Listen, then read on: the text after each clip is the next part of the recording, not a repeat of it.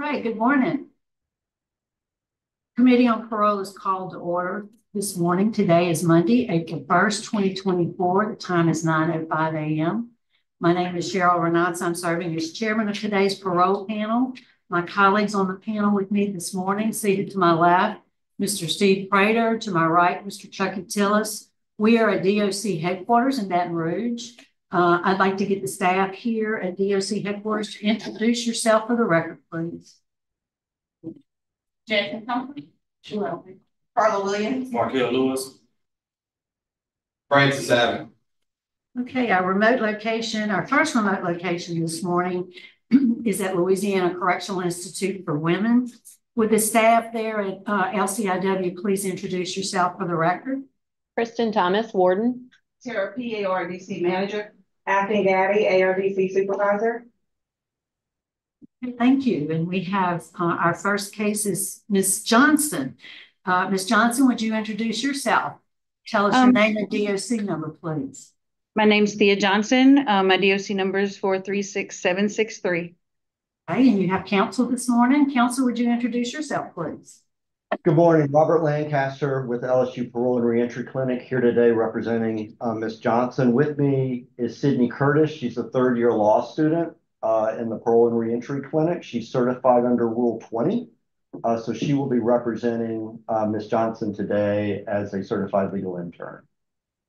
Okay, thank you. And um, Mr. Lancaster, will you also be uh, participating in the presentation I have that you'll be speaking? Will you be speaking at the end?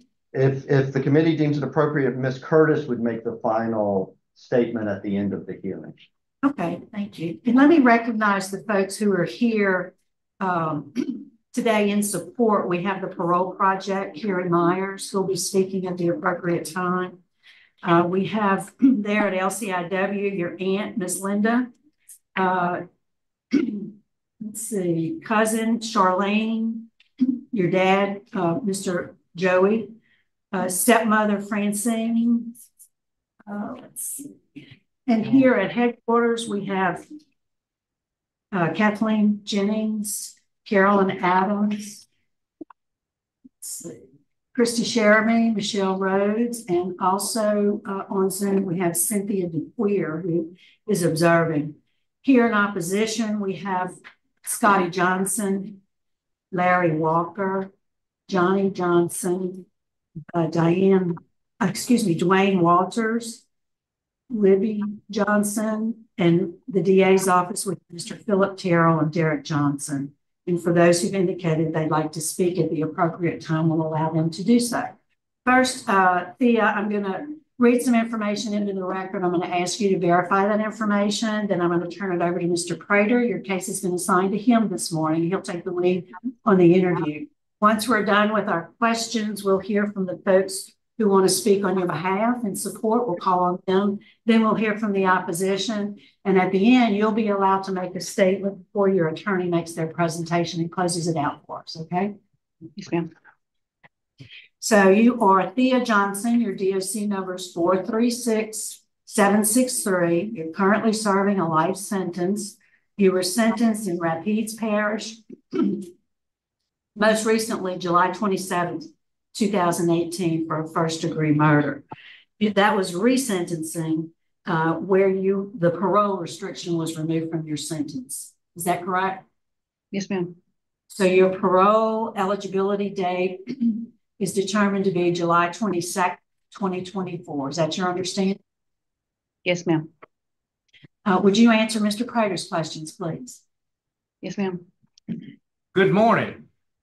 You doing okay today? Yes, right. sir.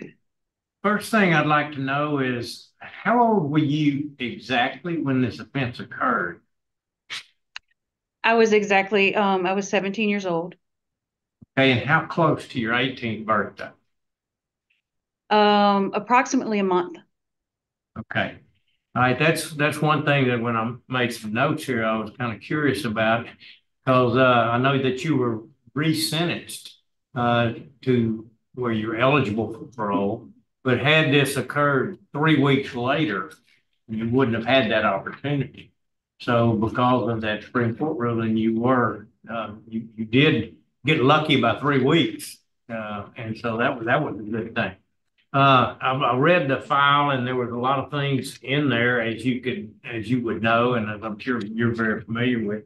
Some things that bothered me was the fact that, uh, I know the contention is that the boyfriend, uh, killed your mom and not you, you were just there, but there was some money and VCRs and things like that stolen. Whose idea was that? Um, that was his idea.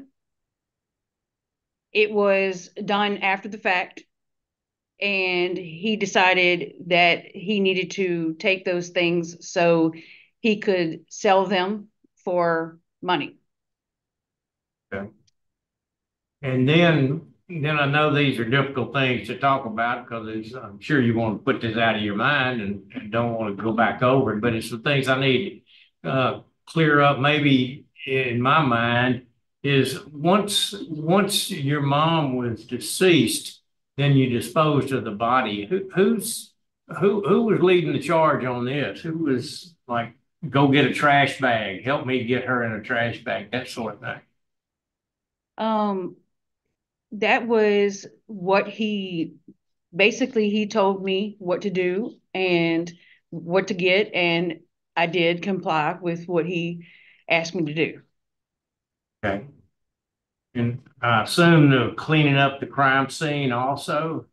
Um, did you go and get the bleach or did he go and get it or what happened with that? Uh, he did, he did go and get it. Um, and basically I remember him pouring, he poured the bleach in everywhere and he made the comment that um, if he could put the bleach on the blood that it would destroy the DNA and they wouldn't know if it was just one person's blood or more than one person.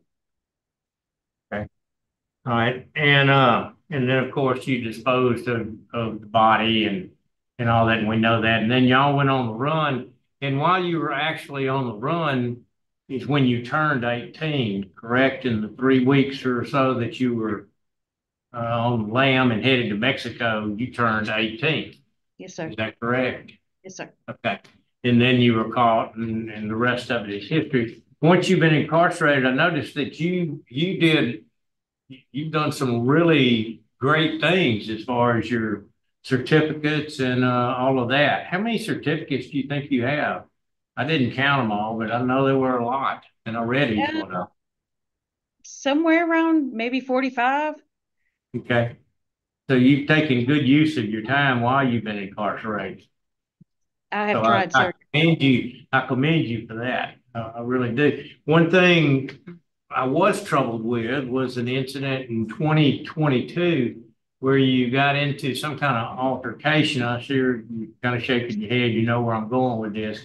Could you tell me about that? I, I know that you were, you were disciplined for aggravated fighting, I believe is what it was. Um, yes, sir. Um, it was a situation that happened at the spur of the moment. I did not think before I acted. And it was a, a very unfortunate, and it's something I really, really regret. Um, since then, I've actually taken a couple of classes that dealt with the fact that I should have asked for help instead of reacting so quickly. You know, um, I did not at that point did I did not think before I acted, but now I know that it doesn't cost anything just to stop for a minute before you do something. And that can completely prevent an unfortunate incident like this from happening. Okay, that's, that's good words, but what actually happened? What made it aggravating? Um, I really don't know why they said why they said it was aggravated fighting. I think because there was more than two people involved. I think if it was more than two people involved, they consider it aggravated or um, you have to have some kind of weapon or something. But I didn't have anything like that. Um, there were three people involved in this fight. So that's why they considered it aggravated. Because I'm normally in, in crime business, you think of aggravated as with a weapon or whether serious injury or something like that. But in this case, Was there a weapon involved or serious injury? No, sir. There was just, there was no weapon. It was a- just a, what they would call a typical fight, but because it was involving three people instead of two, they labeled it as an aggravated. All right, um. I think that's about all the questions that I have. And you've been in jail for how long?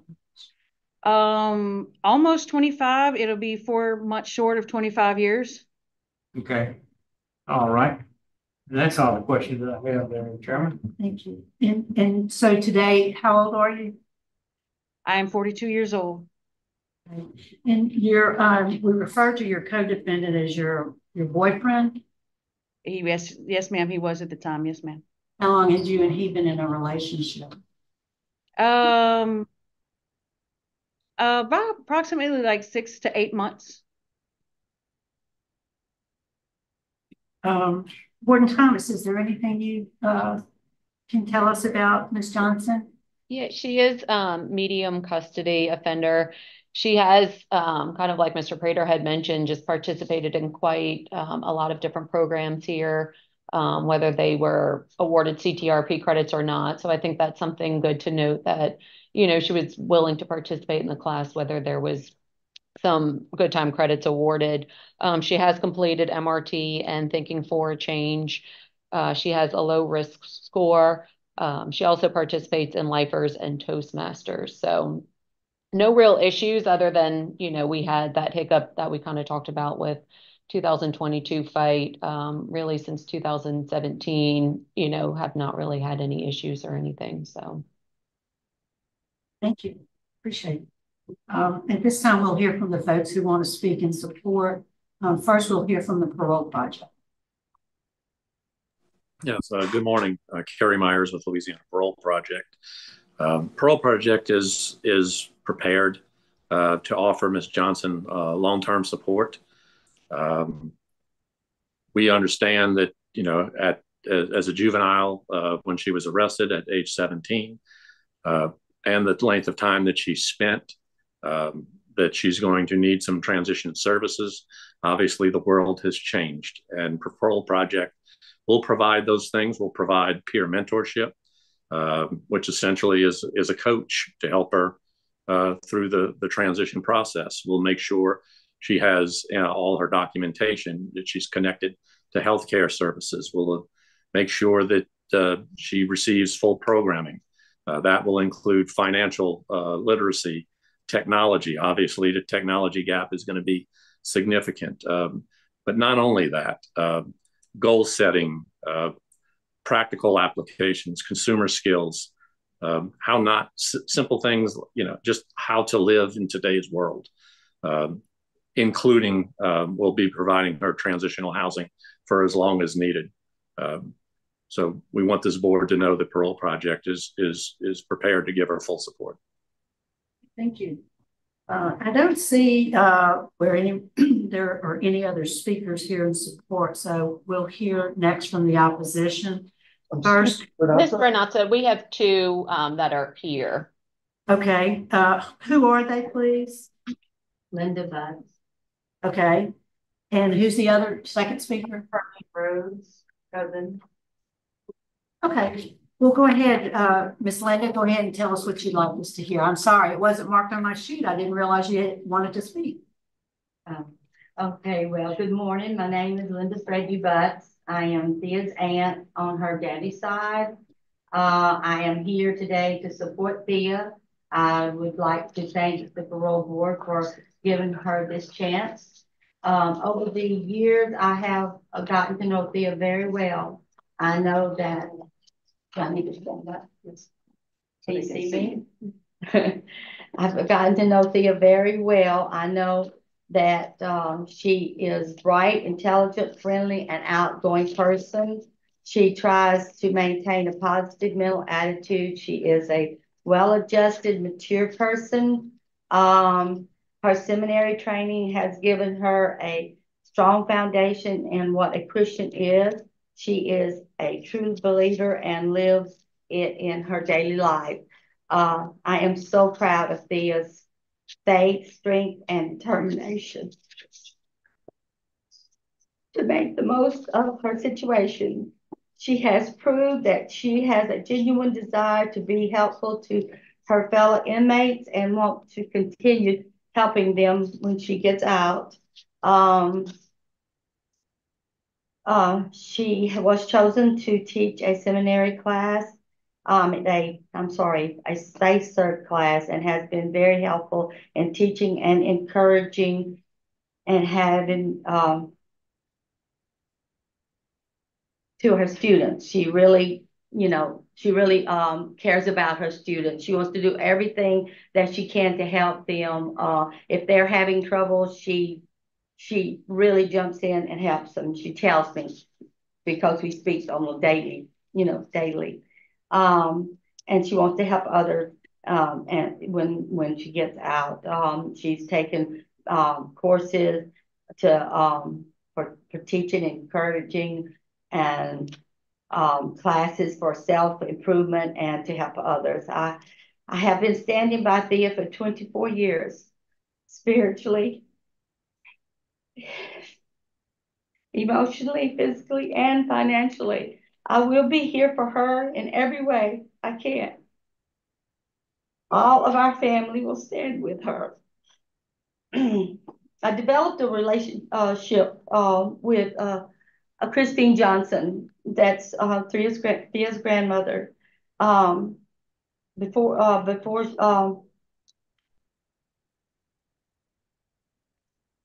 um, Thea's grandmother before she got sick. I know that she would be here to support Thea if she was able to. She is in a nursing home. She has dementia. She doesn't know Thea anymore. Um, I'm asking that you show fairness and mercy to her request for parole. Thank you. Thank you. We appreciate your input. All right, next. Hello, ladies and gentlemen. I'm Charlene Rhodes. I'm Thea's cousin. Um, in the time I've known Thea, I mean, I've I've been in her life as long as I've been alive. Um, but as I've gotten older, we have we've we've spoken pretty much on the weekly. We we've connected, we bonded. She's one of the softest, sweetest people I've ever met. Uh, her soul is genuine and kind through and through. Um, me and my husband own a couple of local businesses where we live, and in the future, after uh, her parole project would end, we are prepared to be able to help her get a job, have a place to live. We're always going to be there to help support her, you know, emotionally, financially, spiritually, in whatever way we can.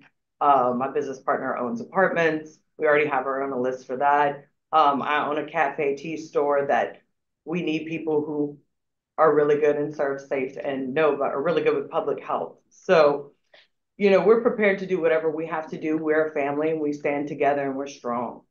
And we love her very, very much. Thank you so much for your time. I appreciate it. Thank you. Thank you for being here. We appreciate that. Now, we, we do have in the record for your information, Ben, uh, some other family members uh, have expressed opposition to uh, favorable consideration, um, and that's that's in the record. Uh, we'll hear from uh, the opposition. Could we first hear from Larry Walker, please?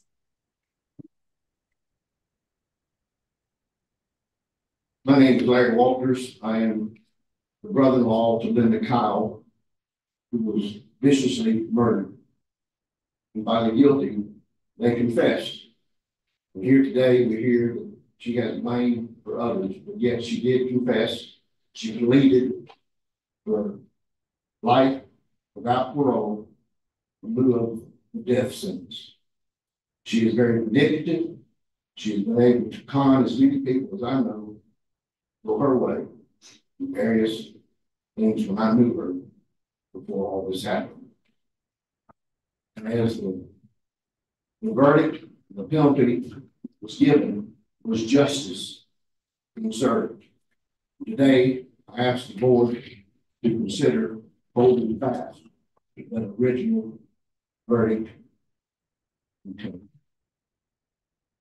Mr. Walker. Uh, Dwayne Walters. Danny. Excuse me, Danny, that's Thank you, thank you for the opportunity. Linda was the sister who on this year. And when all this has come out, oh, I it's just impacted my life. I even had to take off work Tuesday from my job because all those images that I saw, it's just, it floods. I see the coagulated blood. I see the drag marks. Me and my nephew found a piece of her brain that they put in a garbage bag. And she, yeah, always blames others. And I know she was in on it. She is a person. And I, I beg the board this morning, please listen to the plea of the family that had to deal with this and still has to deal with it today to please not release. Thank you, ma'am. And Libby?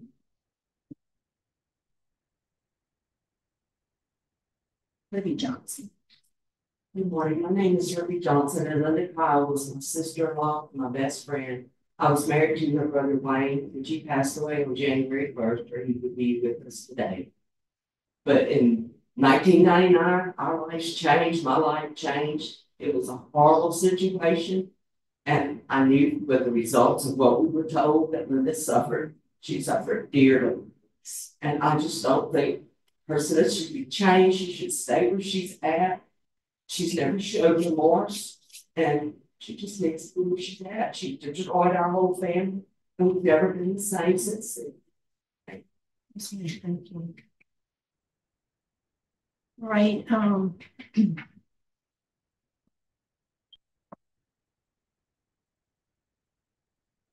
Ms. Thea, is there anything you'd like to say before we, uh, we hear from, from you, and then we'll hear from, uh, your attorney, and then Mr.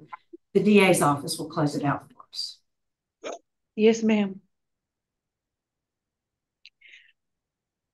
There's not a day that has gone by that I don't carry this. And I don't deny the fact. And I take responsibility because it was my actions and my choices that caused it.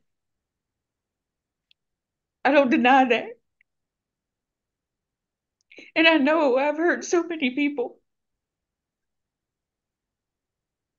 And I can't take that back, and I wish I could.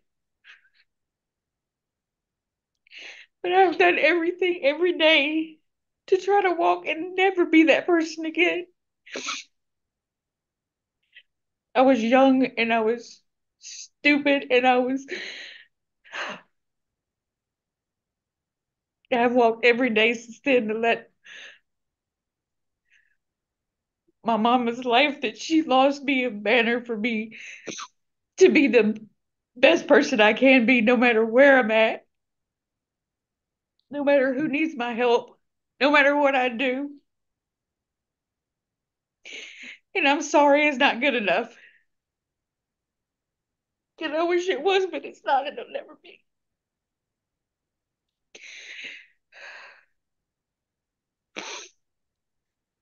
But as Mr. Prater said, these season I've tried to take every class that was available. I've learned so much, and I learned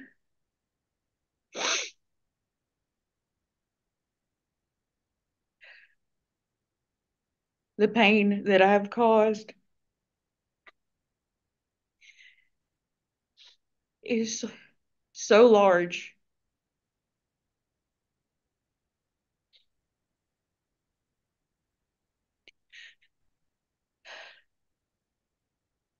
And I've taken every chance to, every explanation in every class that has explained how much pain I have caused and, and how hurt and the different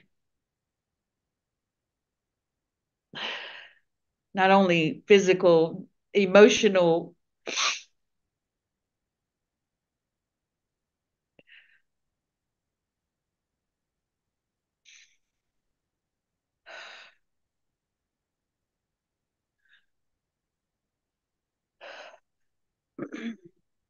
if I'm given the chance. I'm going to take every opportunity available to me to continuously move forward. Listen to my mentors. Ask for help. No matter what situation I get myself in, that I know that there are people that'll help me now where I didn't before.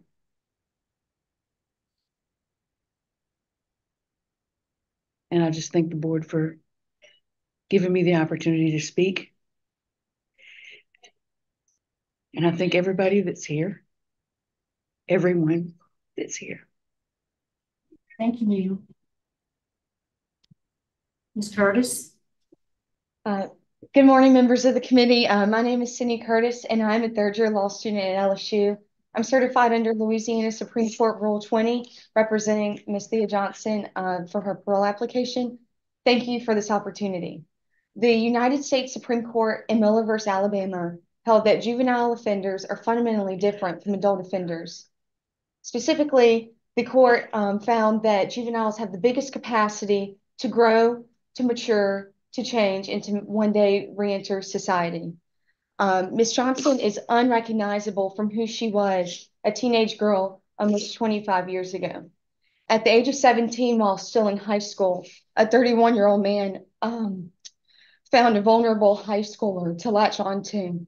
Ms. Johnson was in a position where she was consumed by that man. He used um, tactics like over flattery to win over her trust. And then as soon as he built her trust, he used that trust to manipulate her by moving into her room, being with her in the car at all times.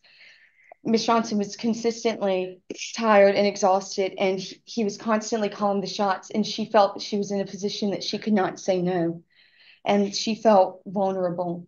But Miss Johnson is not that teenage girl anymore. Now at 42, she has committed herself to self growth by taking as many classes as possible. She has close to 50 certificates through all the different programs that she has participated in.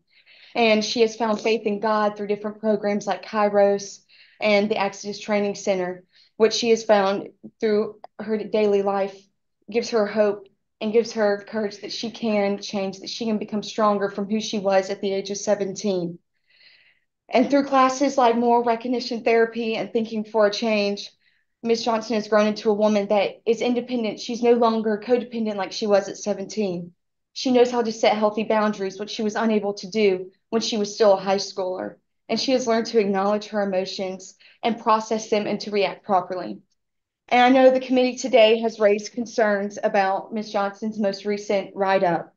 Um, however, Miss Johnson recognizes that she made a mistake that day and she deeply regrets it. And she has taken courses to work on what led to that um, altercation by taking Living in Balance, Sister's Keeper, and Life's Healing Choices. And she has learned now from that mistake. And further, 75% of her write ups were in the first decade, and 96% of her write ups were in the first 15 years of her incarceration. So only 4%, two of her write ups have occurred in the last decade, which has shown how much Ms. Johnson has grown through her time in incarceration, how much effort she's put into herself to grow and become a better person. And Ms. Johnson was given a low Tiger score in December of 2023, which occurred after the um, write up in 2022. And she was, it stated that she has a low risk for recidivism. And so that write up specifically does not define who Ms. Johnson is and that she is not a risk to society and she has grown. And beyond just focusing on herself while incarcerated, Ms. Johnson has found a passion for serving others by participating in community service events like Serenity Gardens, Autism Walk, Children's Extravaganza. But her favorite way of serving others is by teaching. And she's found that through being a ServSafe instructor and a CTE tutor. And many of her peers look up to her and find her to be the shoulder that they lean on. And finally, um, uh, Honorable Committee, Ms. Johnson has a strong reentry plan. She is going to be a long-term resident at the Parole Project, where they will provide her a case manager, where she will have mentors that can guide her through that process, where she will have housing, they will help her with employment. And she also plans to complete her associate's degree because through Ashland University, she has two years if granted parole to finish her degree because education's always been one of her top priorities. And for all these reasons and reasons articulated at this hearing and in the brief submitted on Ms. Johnson's behalf, Ms. Johnson respectfully requests that this honorable committee grant her parole with any conditions the committee deems appropriate. Thank you. Thank, you for your brief. It was very thorough. It was very helpful. Um, we'll go uh, call Mr. Terrell, the DA's office, to close it out for us, please.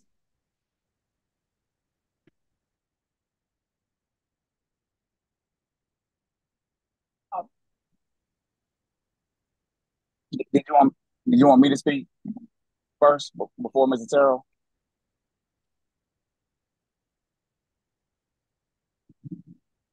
I can't. I can't hear anybody. Terrell, you're on. You're on mute still.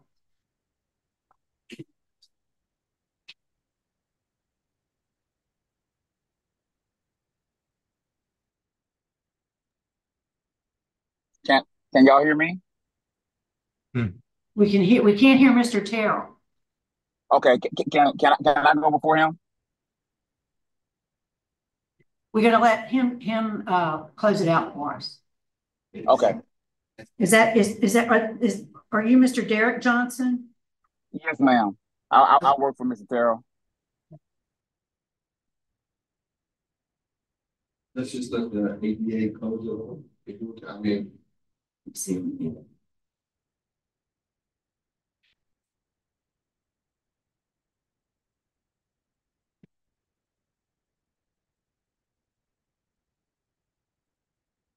Can you hear us now? Yes, we can. Okay. Ready? Yes, sir. Good morning, ladies and gentlemen, lady and gentlemen, and ladies and gentlemen in the audience. Philip Terrell on behalf of the state of Louisiana and the victims in this matter. I'm really glad that uh, that Thea has taken advantage of all the opportunities to better herself provided by the prison system. I'm glad that she's had uh, some benefit, but let's not forget why Thea's in prison. The soft, sweet person described by her cousin pled guilty to the worst crime under Louisiana law. She pled guilty to first degree murder. The family support described by the two ladies who spoke on her behalf, one of them her cousin who said she's known her her entire life. Let's think about that a minute. She's got family support. Well, the person she murdered, the person she took part in taking life, was the very person who gave her life. The very person who gave her life, her mother. Life's not a movie. Kind of reminds me of natural born killers. Life's not a movie. Our actions have consequences. The consequence of Thea's action had devastating consequences to all the victims who came before y'all and spoke. Devastating consequences that can't be erased, that they have to live with every day. They have to live with those things for the rest of their lives, day in and day out. Part of criminal sentences, part of life sentences, have to do with retribution. Part of those have to do with paying our bills. That's what Thea is doing now. I'm glad that she's able to help some people in the prison system. I'm glad she's growing and learning. Have to point out, as the sheriff pointed out earlier, she had a hiccup. She got in a fight. She's not ready to get out. She's not ready for parole.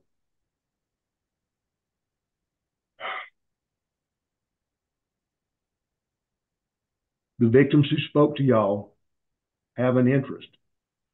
They have an interest in Thea staying in prison for the crime she committed.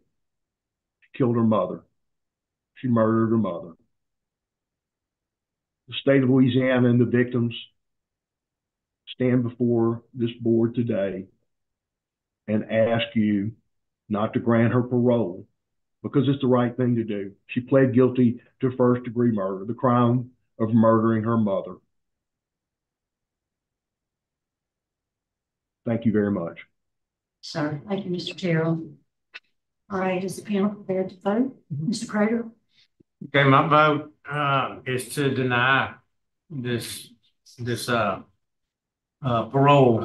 Uh, I don't want you to give up hope. There'll be a chance that you'll come back to us. I want there to be um, I want there to be longer time between your latest discipline that you made a bad decision. I mean, that's what started this whole thing with a bad decision. So I'd like to see some more time. Um, and I also took into consideration besides that, the age, you missed it by three weeks or we wouldn't even be here.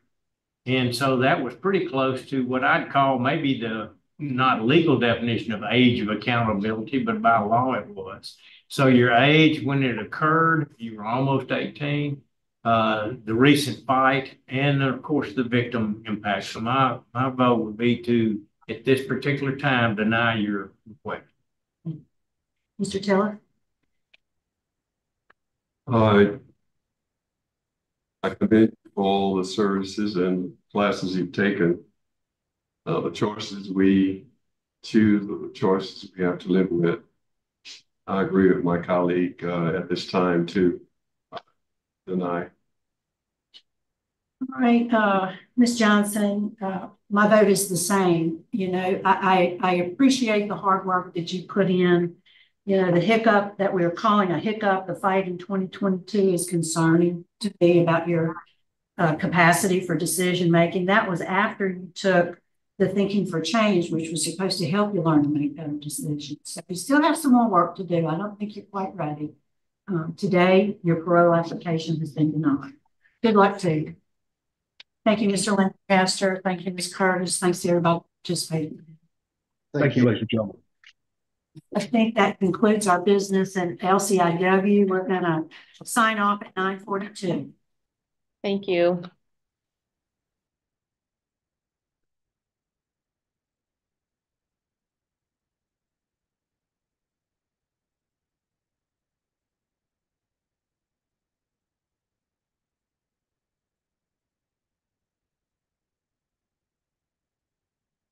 All right.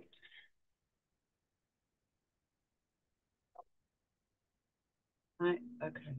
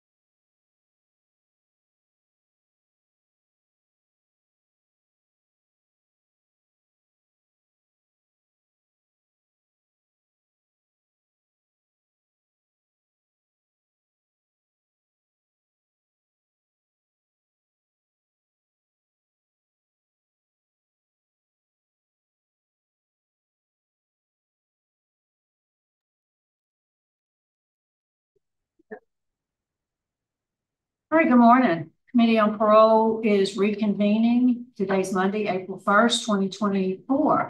It's nine fifty-nine AM and we are at Iberville? Iberville Parish Jail. Good morning. My name is Sheryl Ranatza, serving as the chairman of today's parole panel. My colleagues on the panel seated to my left is Mr. Steve Prater, to my right, Mr. Chuck Tillis. Uh, would the staff there at Iberville please introduce yourself for the record? Good morning. This is, this is Joe Dupont. I'm, I'm Coy Simpson's attorney and Mr. Simpson is present. And, uh, Iberville Parish Warden is in the next room. Okay, great. Thank you. And you said you're Mr. Dupont? Yes, ma'am. All right, so I'm gonna, um, if I can get to the right page, I'm gonna read the allegations against Mr. Simpson and ask him to enter a plea of guilty or not guilty. We'll have some questions. And at the end, we'll ask him for his statement if he has one, and then ask you to close it out. Is that okay with you? That process? That's fine. That's fine. So, Mr. Simpson, you're here for a revocation decision this morning. You ready to proceed? Yes, ma'am. Good morning, Ms. Ranatza. And I'm gonna uh read the allegations, ask you to enter your plea of guilty or not guilty, and then we'll talk about it, okay? Okay. So you're accused of violating conditions of your parole, specifically condition number four. You engaged in criminal activity as evidenced by your arrest June 9, twenty twenty-one by the Louisiana State Police for possession of a firearm by a felon, two counts, illegal possession of stolen firearms, two counts, in possession with the intent to distribute cocaine, possession of a firearm with a controlled dangerous substance, and improper lane change. On November 9, 2023, he pled guilty to possession of marijuana and received a sentence of a $100 fine and court paused in five days parish jail. All other charges were dismissed. So how do you plead to violating that instance of condition number four? Not guilty. Not guilty. Okay. Here we have another one, condition number four, which states you also engaged in criminal activity as evidenced by your arrest March 13, 2023, for taking contraband to or from a penal institution in possession with intent to distribute methamphetamine, methamphetamines by the Iberville Parish Sheriff's Department. These charges were not crossed on November 9, 2023. How do you plead to that violation? Not guilty. Not guilty. We have condition number five, which states you were in possession of firearms as evidenced by your arrest June 9, 2021, for possession of firearm by a felon, two counts, illegal possession of stolen firearms, two counts, and possession of a firearm, the controlled dangerous substance. During the search of the vehicle that you were driving on that day, June 9, 2021, uh, per the police report from the Louisiana State Police, the faceplate of the center console, which houses the transmission shift knob and cup holders, was removed. Underneath the faceplate, faceplate in a neutral void of the vehicle center console were two semi-automatic pistols. Pistols were later determined to be 9 millimeter Ruger SR 1911, a Smith & Wesson uh, 40 caliber. An NCIC inquiry later revealed both firearms had reported stolen. You violate condition number five? Rental verification. I don't know what that. Not guilty. And then we have condition number 10, which says you have made no payments toward your supervision fees and currently $1,953 in arrears. How do you plead, sir? Not guilty. Okay. Well, let's address that first. So tell us, you say you're not guilty to being behind on your fees? You are behind, but you've been doing community service. Explain that to us. Well, I'm, I was behind Ms. Ms. Ranatza because I was, I wasn't employed. I wasn't working in it, it because due to the COVID situation. And I was doing community service. Okay, uh, that explains it. Okay, well, let's go back up to uh, the the 2021 uh, charges with the firearms. Tell us what happened. Tell me about the administrators. Oh, would you like Mr. Simpson to address it first or, or me? If you like, Mr. Dupont. Yeah, yeah, let, let me, uh, maybe I'll go first. Just, I want to ask y'all, did y'all have the opportunity to read the report from Chad Bordelon? I don't know that I have. He was, uh, he, he came and conducted a preliminary hearing here at the jail, collected evidence and issued a report. Y'all didn't get to see it? We did. Yes, we had that. All right, all right, well, if you, if you notice, uh, count four and five are both from the same incident. And on the second page, um, you can see where, um, Mr. Simpson was participating with a community service program through, uh, Ms. Chapman, uh, with the peer ministry group. And on the day of that incident, he had ridden in a van with other individuals that were participating in that community service uh, that day. Uh, they rode in the van from New Orleans to Angola, and then from Angola they went to Baton Rouge. Uh, and while in Baton Rouge, Miss Chapman, who was uh, facilitating that program, asked Mr. Simpson if he would ride with Rondell Smith to Rayne, Louisiana, to drop off some COVID supplies at this First Baptist Church. Uh, so, had she not asked him to ride with Mr. Smith, who was uh, driving his own vehicle, he'd never ended up in that vehicle that day to begin with.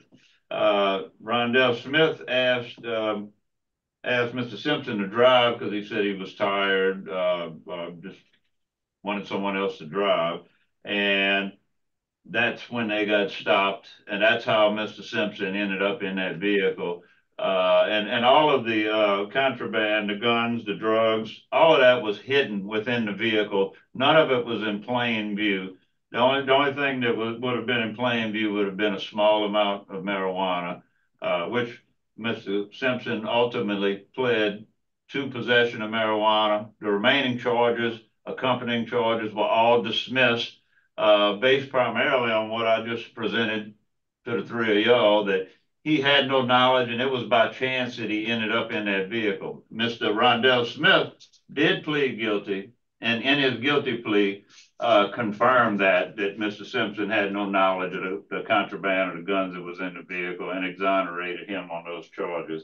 And, uh, that, that being said, uh, Coy, do you have anything to add on that, um, as far as how that transpired?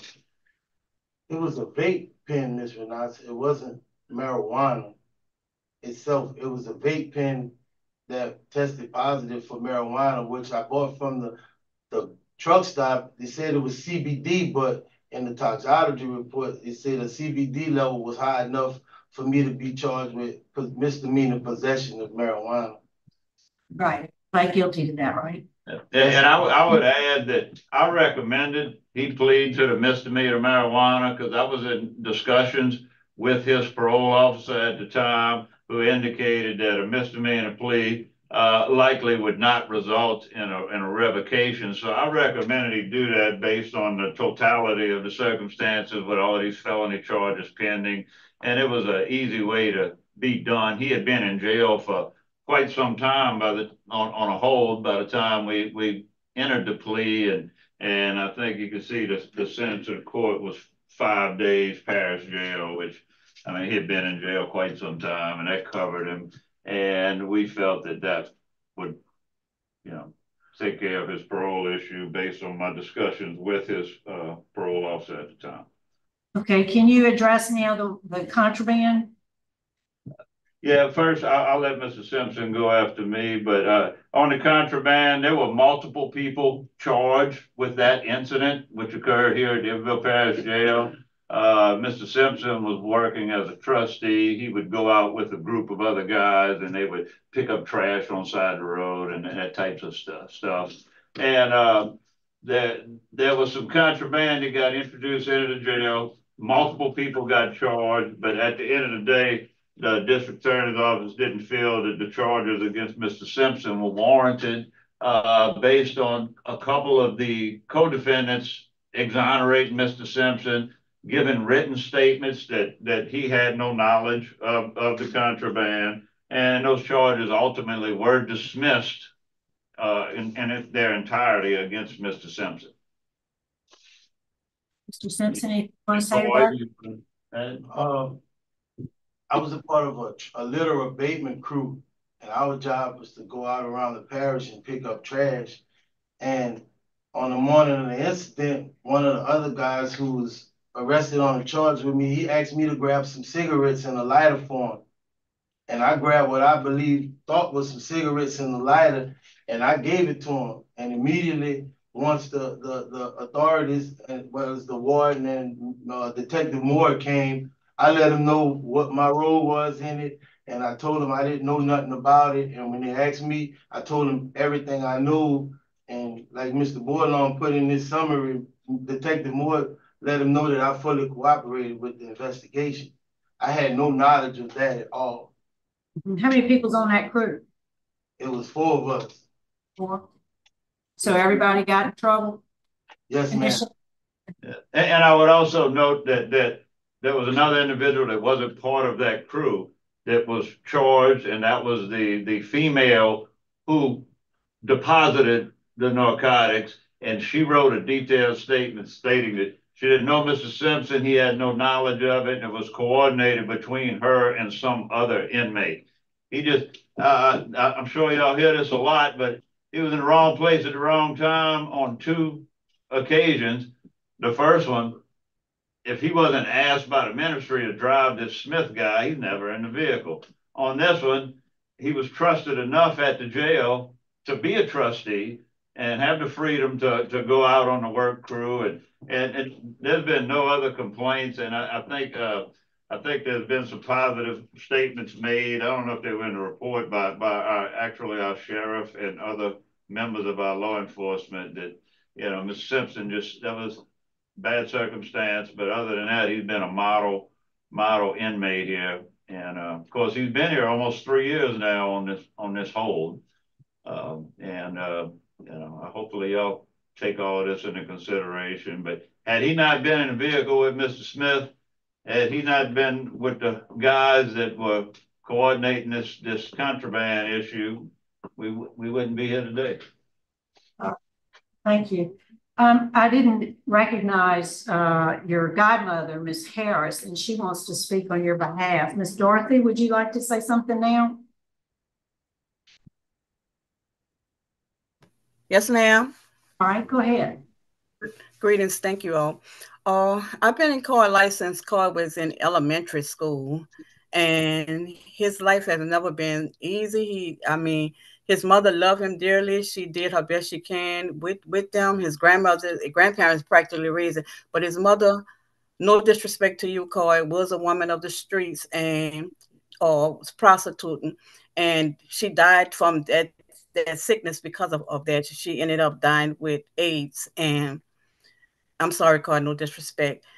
And so his grandparents were older people that practically practically raised him and had him in a part of the church house and, and stuff like this here. But Coy was young and he his his parents was dead, his mother and his father. His father, I don't know too much of him, wasn't basically in his life, but I know his mother.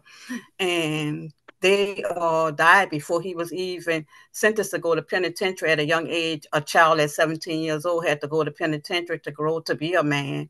He learned to be a man in penitentiary. I was in the courthouse the day that he was sentenced for his time to go to penitentiary with my uh, now deceased son.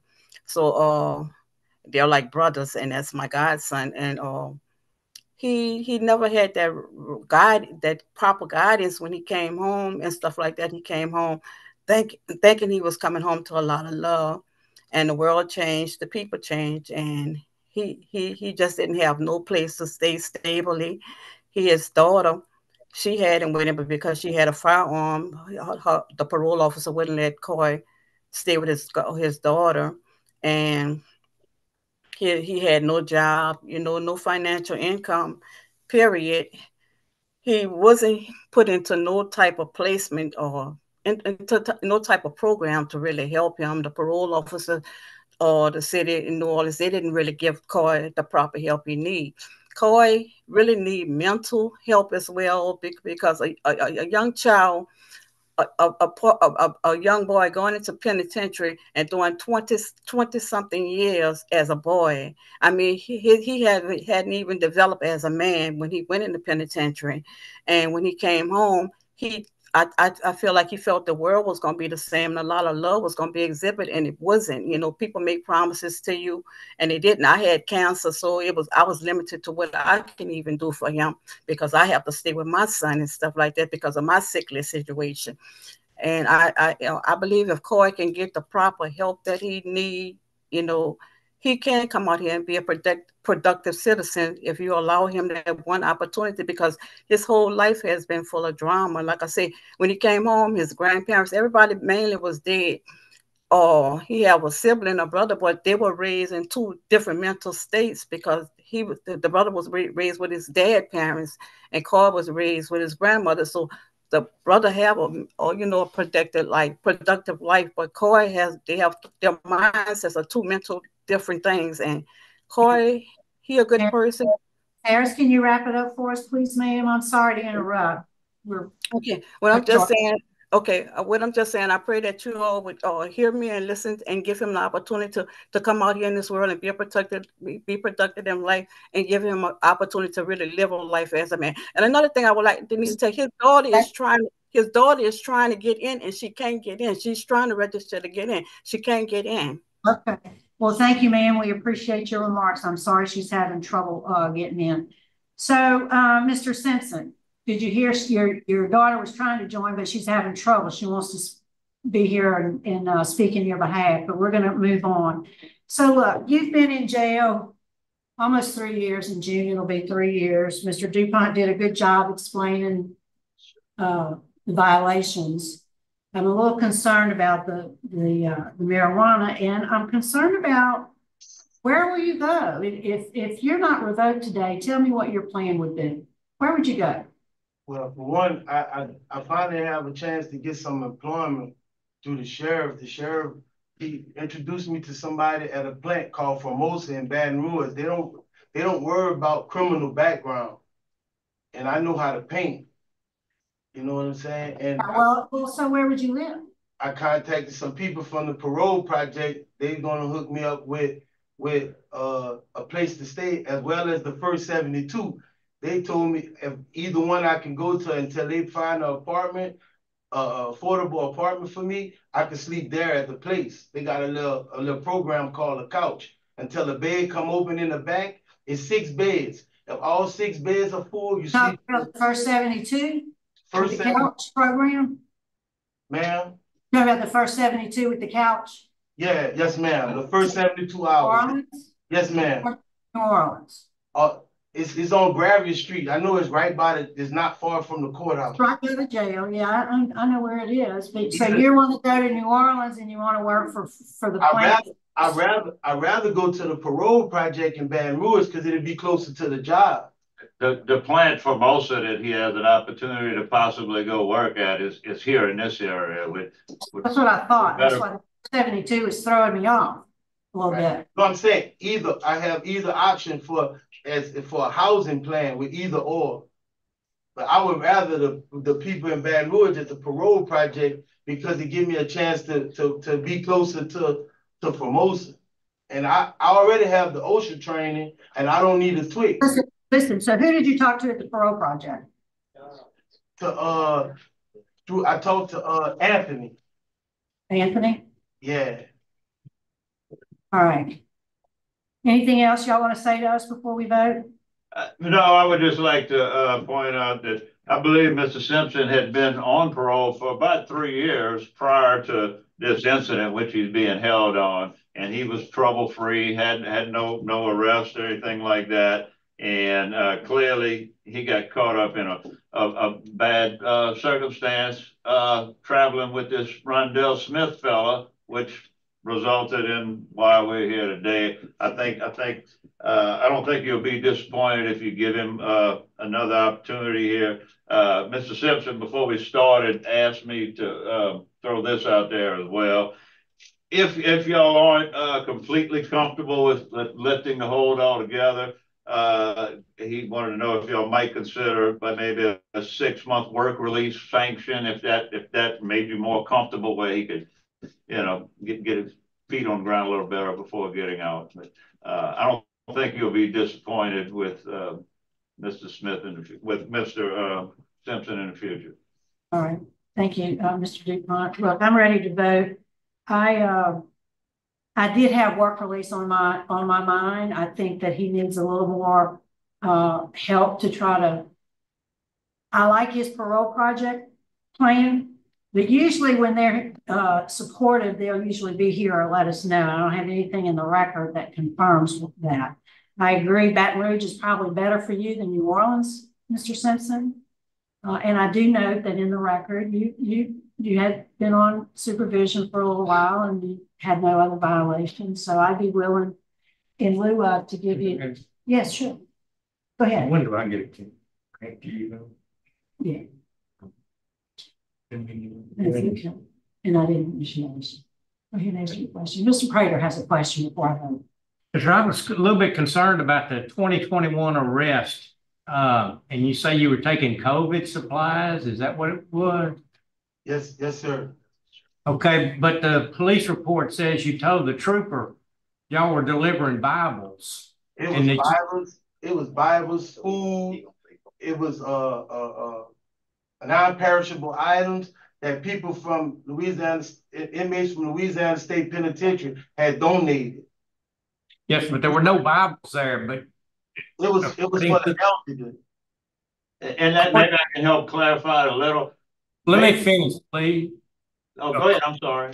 According to the police report, there were no Bibles in there and you said y'all were delivering Bibles. The trooper says it's an unusual time of night to be delivering Bibles, that you didn't know where the church was. You told him you were a minister. Uh, and then you told him it was a rental car. And it seems strange now. You told him it was your brother's car and it turned out to be when they said it wasn't your brother, you said a brother in Christ. And it's, it just, I'm confused about this twenty twenty-one deal. It seems like even with your criminal record of armed robbery and other things, that now all of a sudden, all, all of a sudden, bad things keep happening to you, but they're not your responsibility. And then the perish, the, the per- non-perishable items that you're delivering turns out to be cocaine that's sealed inside green bean cans. But I find that hard to believe that you didn't quite know about any of these drugs, yet you had marijuana with you. So you're willing to go with the marijuana, but not the stolen guns or the green bean cans full of cocaine. Could you, could you help me, sir, figure this out? Uh, Mr. Simpson, explain, explain to this gentleman how that day went as far as point A to point B to point C. You started in New Orleans on a bus with other individuals, right? All right, go through that whole chain of events. From, from total community action where I was serving my, uh, community service, TCA, we went from there on a van to LSP to the front gate. We loaded all the supplies up on a van. We went from the van to Living Livingworth in Baton Rouge. I want to say somewhere on Sherwood. And from there, we bagged all of the, the bags up that had the, the boxes up that had to go to the churches where we had to deliver to. We went to one church in, in Lafayette and two in Rayne. One I remember for sure in Rayne was one I remember for sure in Rayne was St. Joseph Catholic Church. I remember that one for sure. But Coy, you were riding on the bus for the first few stops, right? Yes, sir. When did, when were you asked to ride, get in the vehicle and ride with Rondell Smith? In, in Baton Rouge, when we got back to Living Word, when we was boxing all the supplies up, Miss Chapman and Mr. DeLone asked me to ride with him because it was mostly older people and, and they had a lot of women and me and him was the, maybe like the two biggest, the two strongest to, to lift the boxes. But you didn't, you didn't start the day with Rondell Smith. No, sir. You rode on the bus. At some point, they asked you if you would continue on with him. Yes, sir. So had they not asked you to ride with him, you'd have never, been in the vehicle. been in a vehicle. Uh, and the vehicle was a rented vehicle. It turned out it was rented to his wife, I believe, huh? Yes, sir. Okay. Uh, and, and, and the contraband that that gentleman was just asking you about, was all, was, was all that hidden in different parts of the vehicle? Yeah, they say they found it somewhere. They had to take, remove something from the truck, like the face. They had to unscrew it or something like that. Yeah, the report stated that the guns were, you had to disassemble the vehicle to, to be able to see the guns. And I think these green bean cans may have been in the, in the trunk or they were concealed behind the wall of the trunk, if I remember correctly. But they wouldn't have been visible to anybody unless you knew they were there.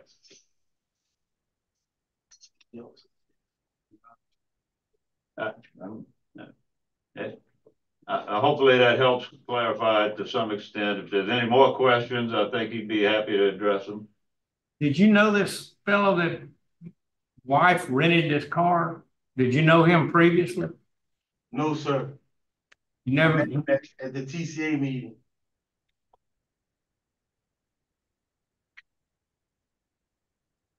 Hmm.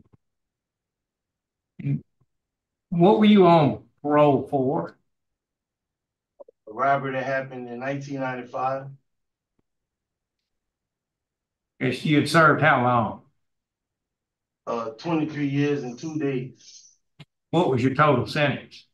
Eighty flat years, but I had it commuted to forty when the, when the Fourth Circuit found that it was excessive and illegal.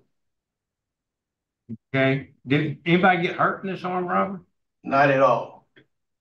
It, it, it was, it was more of a, of a fight that turned into a chain snatching and Okay.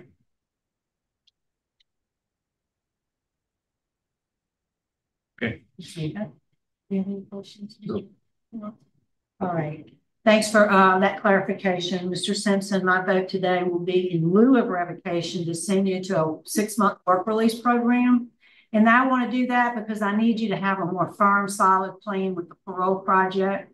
And hopefully we can, you know, the work release will be able to secure that job with Formosa to get your feet on the ground with them. Um, thank you, Mr. Johnson. I would also add special condition after you're released, fully released, uh, and you're still on supervision, that you do have a substance abuse evaluation and you comply with anything that may be recommended in terms of treatment. Yes, ma'am. Mr. Prater? Okay, so just for clarification, he's gonna stay in jail. For six months in work. Six months in work mm-hmm. release. And the sheriff also has got him a job when he gets out. Correct? So the sheriff is in favor of this. Right. That's our understanding. That's our understanding. Six months will help him get his, uh, parole project, reentry and housing plan place. Okay, I, I'll, I'll, I'll concur with that, but I want you to, to, if you can see the screen, look at my eyes, because, you know, I'm hard to convince about some things, and I'm not, don't think that I'm convinced about everything I heard today. All right? Rest assured, I ain't that easy. Thank you. Now, good luck with your work release. Thank you, Mr. Frank. Mr. Tilley? I agree with, uh, Mr. Renat. Uh, the training and, uh, get on a work release program. All right, Thank you, that's the plan. And of course, Simpson, we don't want to see you again. No, not at all, Mr. Johnson. All right, good luck to you. Thank you. Thank you. Mr. Dupont, thank you very much. That concludes our business at Iberville. We're going to sign off. It's ten twenty-eight. That'll work. You that with that license on, it, you know what I'm saying? Hey, that's, we even convinced, uh, one guy who was, uh, oh, I took your,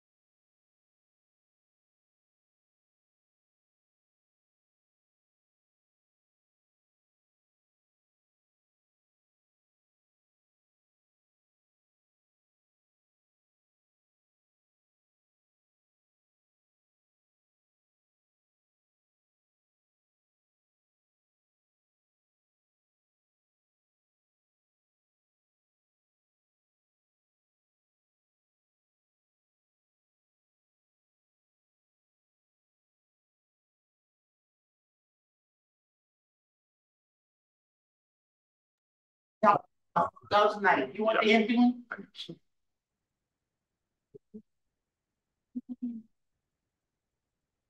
Good morning.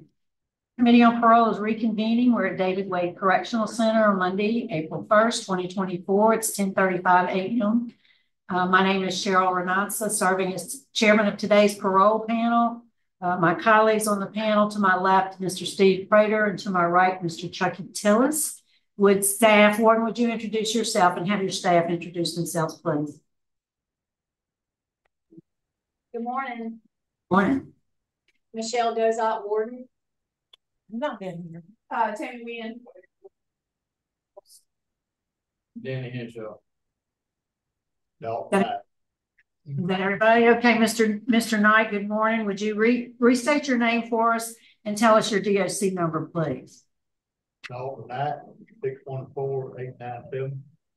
All right, uh, Mr. Knight, uh, let me just read some identifying information and ask you to confirm that.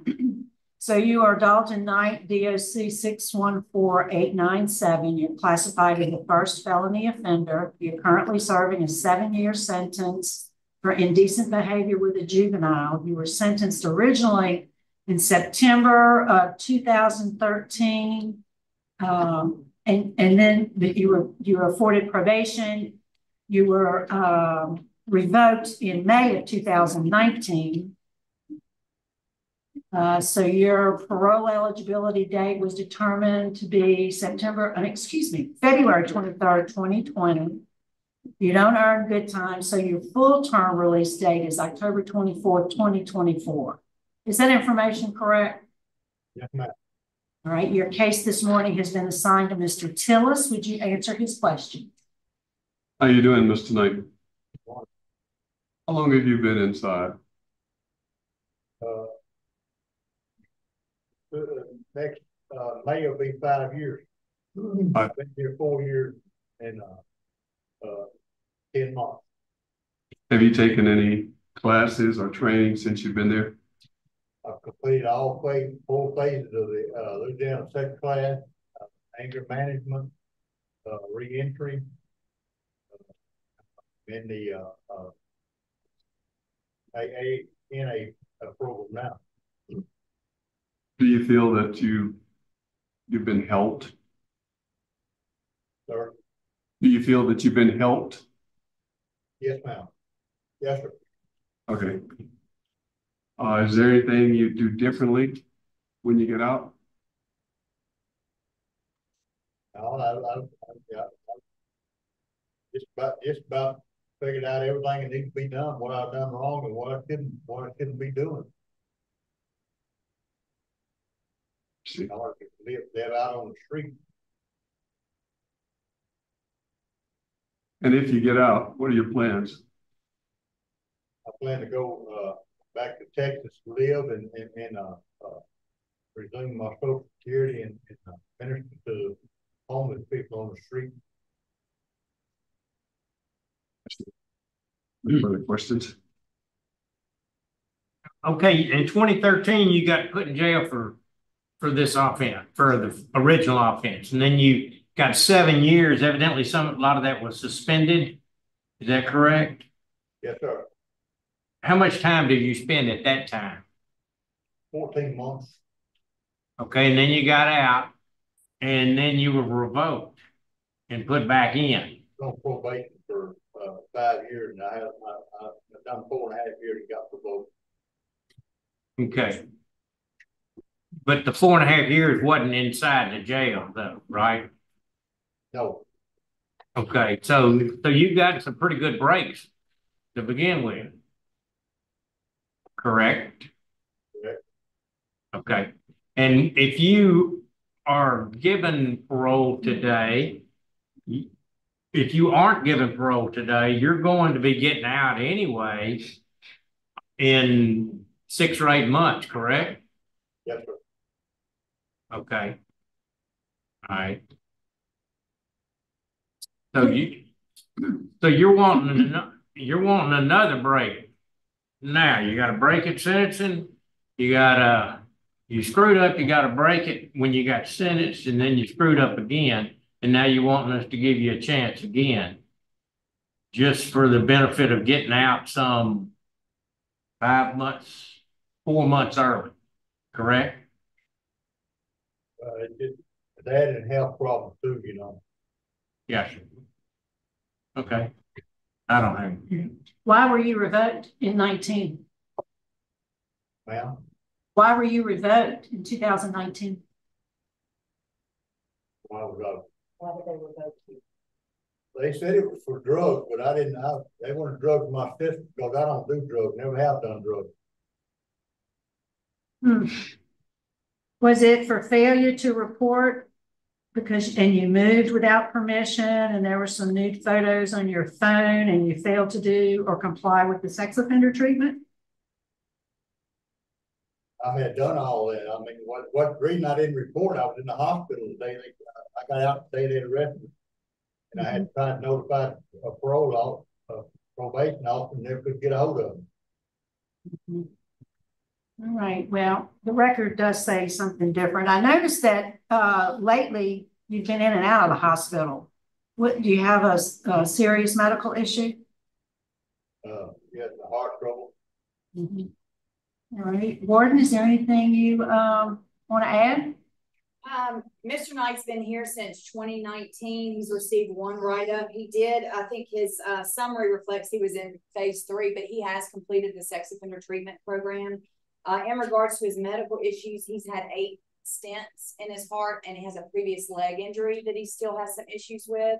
But um, as far as his rule violation um, reports, I mean, he doesn't really have any uh, significant issues here. He hasn't been any disciplinary issue here while he's been housed here at David Wade. Thank you, that's helpful. Mr. Knight, is there anything you'd like to say to us before we vote? No, it, it- you know, it, if granted parole, uh, uh, you know, uh, I'll do everything I have to to, to, uh, stay out of there, and I won't be back, that's for sure. Good to hear. Okay, I think we're prepared to vote. Mr. Tillis? I think that, uh, I'm gonna have to deny. Okay. Mr. Prater? I'll deny it. Um, if you need a.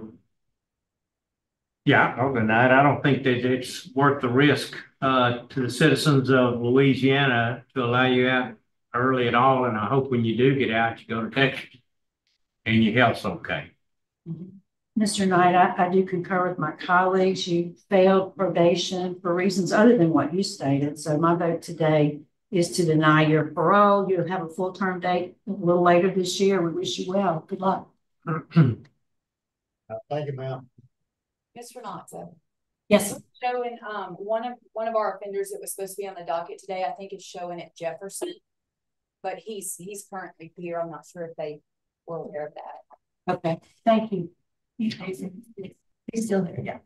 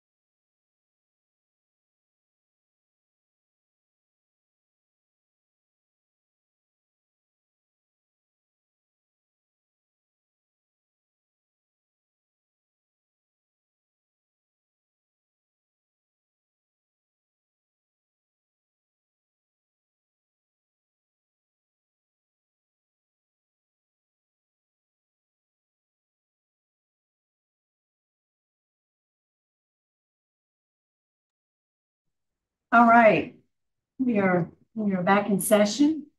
And let's see, Mr. Young. Well, do you introduce yourself? Tell us your name and DOC number, please. name is Dwaine Young, three four six six two two. All right, Mr. Young. Um, let me, uh, my name is Sheryl Ranatza. This is Mr. Steve Prater to my left, Mr. Chuck Tillis to my right. Uh, let me recognize the folks who have joined us today. We have here in support, uh, Ms. Val, is Valley, how do you pronounce her last name? Valle, Valle, Ms. Katina Valle, your fiance and the parole project is here as well. In opposition, we have uh, Joseph Rochelle and uh, the district attorney's office represented by Mr. Derek Johnson. Um, Mr. Young, I'm going to read some identifying information into the record. I asked you to verify that information. Your case has been assigned to me, so I'll take the lead on the interview.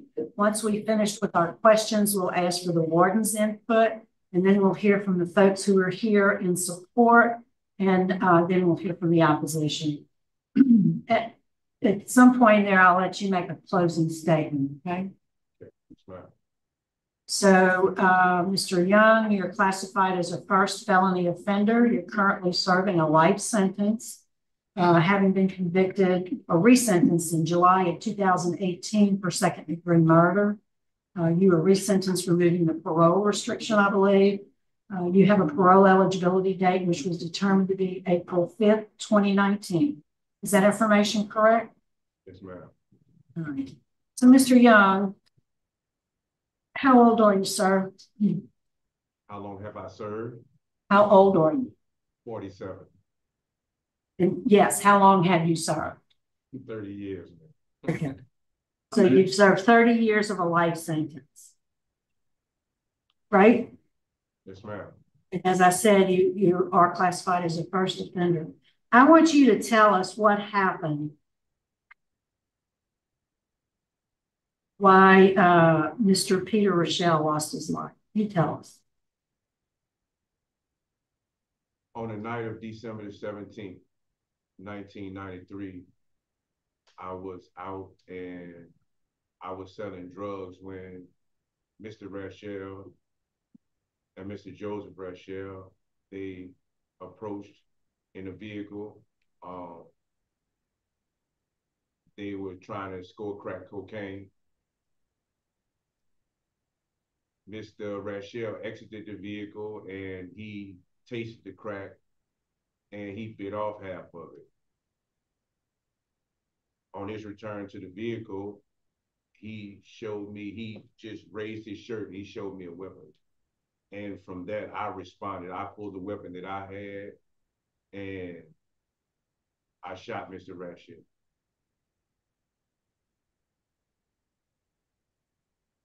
And he lost his life. Yes, ma'am.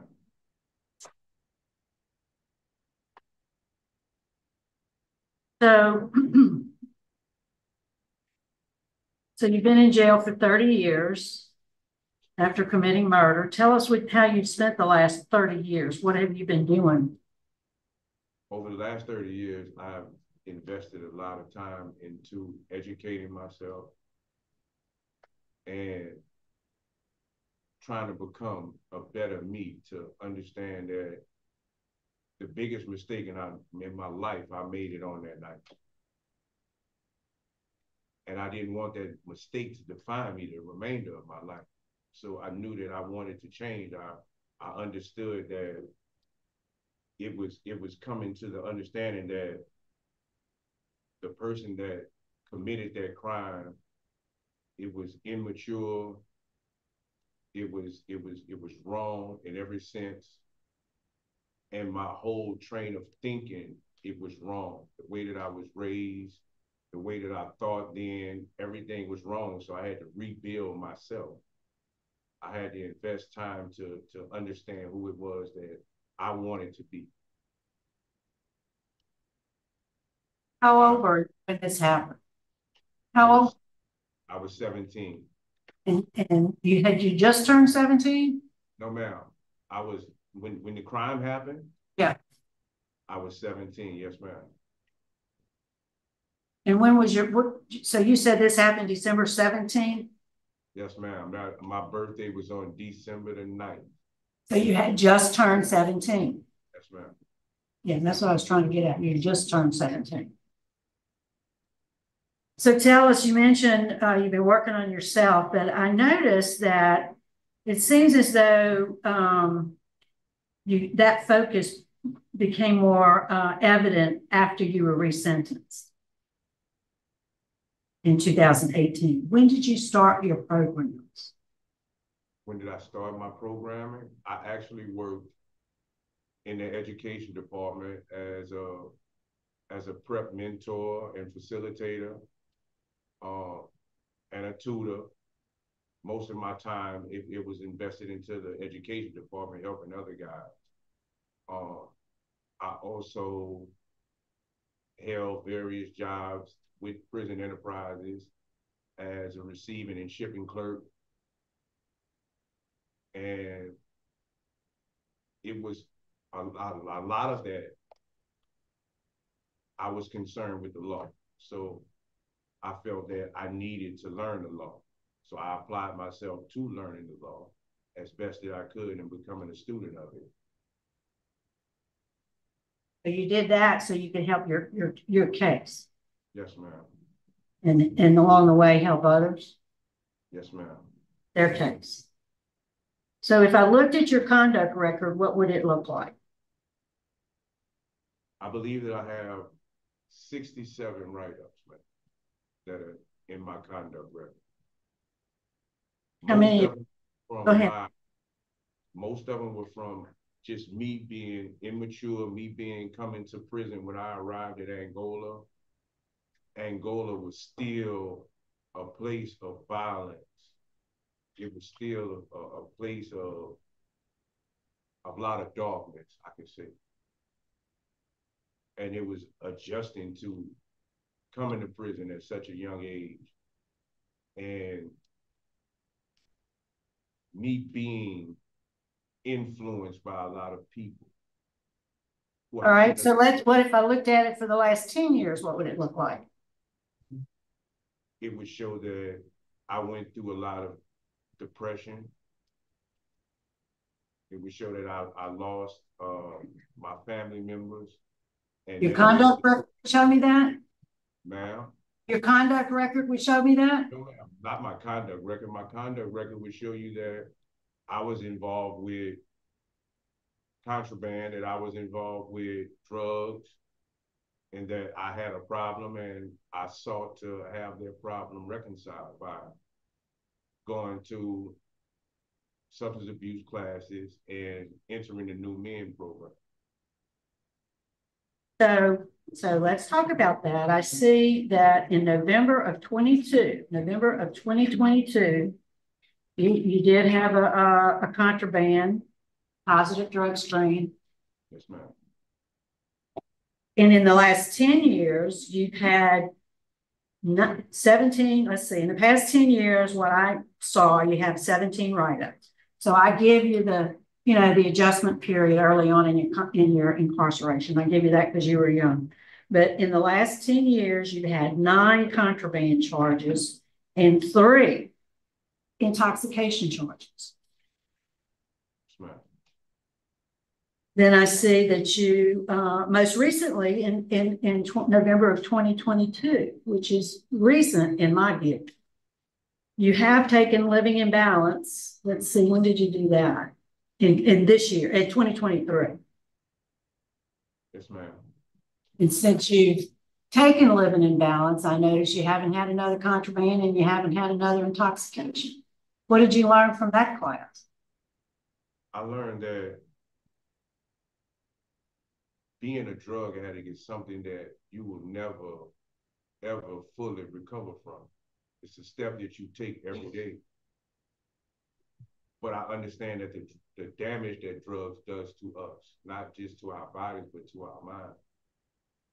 And I haven't had a desire since coming to David Wade has been a relief for me in a lot of ways because it has allowed me to cleanse my mind and as well as cleanse my body. it has allowed me to refocus. Been there, how long have you been there? Um. Just like since November of twenty-two? Fifteen months, sixteen months. Yes, ma'am. Well, it's good to hear. There is opposition. We'll hear from some uh soon. Uh, there's law enforcement opposition. The DA's office wants to speak. We'll hear from them. Uh, I don't have any other questions. Let me ask my colleagues any questions. Ryder? I noticed that in just since twenty-two, you know, less than, well, maybe two years ago, um, you've, three times you've been intoxicated. And I'm just curious, why, why should we trust you now all of a sudden? If you've been in jail for thirty years and to begin with, you couldn't follow the rules because you shot somebody. And then you've been in jail for thirty years and you just couldn't follow the rules because of sixty-seven write-ups. And then even in the last two years, the rules say don't get drunk or don't be intoxicated in jail. Three, three times in two, last two years, you've been intoxicated. And then other things, um, the contraband and, and other things, just in the last two years. So I'm curious, why should we, tell me why I should trust you now? Because every time you've been given an opportunity to do something, you screwed it up. You hadn't followed the rules. So why should I, why should I ask, or why should I vote that you be allowed to get out and be free in society when you hadn't proven that you can even mind the rules when you're segregated? Sir, my life has been a fight of ups and downs, of battles with chemicals my entire life. I don't, there is no way for me to explain or try to justify my actions. I don't attempt to. It is only because of the grace of God that I've been given this opportunity. And I plan to take every advantage of it because I know the responsibility that I have before me. I know that if I continue to do the things that I do, I will always be in these type of situations. And I don't want that for myself. And I don't want to put none of the people who have supported me into that position where they have to feel like I let them down. I, again, it, it has been drugs that has been the catalyst around my life that has led to this negativity. And it, it, it took me to get away from it to understand this. Because addiction is a part of life. Addiction is something that's strong. And through that addiction, you learn that there is a better you. You just have to be willing to always express it. You have to be always willing to drive toward it. And that's the reason that I feel that if the board grants me in giving me this opportunity, that I can't let you all down. I can't let the people who are in my life that mean the most to me, that are still in my life, I can't let them down either. I have a responsibility that God has given me. And that responsibility is to try to change the things that I've done, the wrongs that I've done, to try to make a commitment to the people who are out there who are still suffering, who are just like me. But they don't understand it. Okay, thank you. Have a. Okay. Uh, Mr. Young, how you doing? How you doing, sir? Uh, how long you been in Angola? I stayed in Angola like 28 years, sir. You stayed 28 years. You ever heard of Kairos Ministry? Kairos. Did you ever participate? Yes, I did participate in Cairo. You did? Yes, sir. Okay. What do you think about it? How do you feel about it? I think that Kairos was one of the most empowering experiences that I ever had, especially towards the end. it, it, it's, it's, it was emotional for me. I But never, you- yes, sir, I've never experienced the, the emotions of everyone sharing with one another. I see. So, so you, you really, you feel that you may have a drug problem Yes, sir, I definitely have a drug problem. and you think you can solve it, or if you got help, you can do better? Going through, going through counseling and going through continuous counseling, that's something that I will always do. I see. I think that when you are, once you become addicted to drugs, the power of it is knowing the feeling that it gives you. Okay, no more questions. All right, uh, Warden Dozat, can you add anything to the conversation? Yes, ma'am. Um, when inmate Young got here, he, he tested positive the night that he got here. That was his last rule violation and he spent some time in segregation. And, um, since then, um, you know, I've, I have noticed a transformation in him in regards to wanting to remain sober and, um, talking with him, uh, multiple times, but specifically last week about his experience here at David Wade and how that's contributed to his sobriety and wanting to live a different version, um, a different life for himself. Um, he completed Living in Balance. He is a, a barber for our general population. He does really well with that. He also serves as a peer leader for some of our recreation, recreational activities. So he's active in, in those as well and has just completed the, I think, third session with the uh, Victim Offender Dialogue representatives uh, working towards that. Good, thank you. Um, I don't have any other questions. We'd like to hear from the people here in support. Could we hear from the Parole Project? Uh, yes, good morning. Kerry Myers with Louisiana Parole Project. Um, as um, you may be aware, Parole Project uh, came into creation um, as a result of the Miller Montgomery uh, juvenile uh, uh, Supreme Court rulings.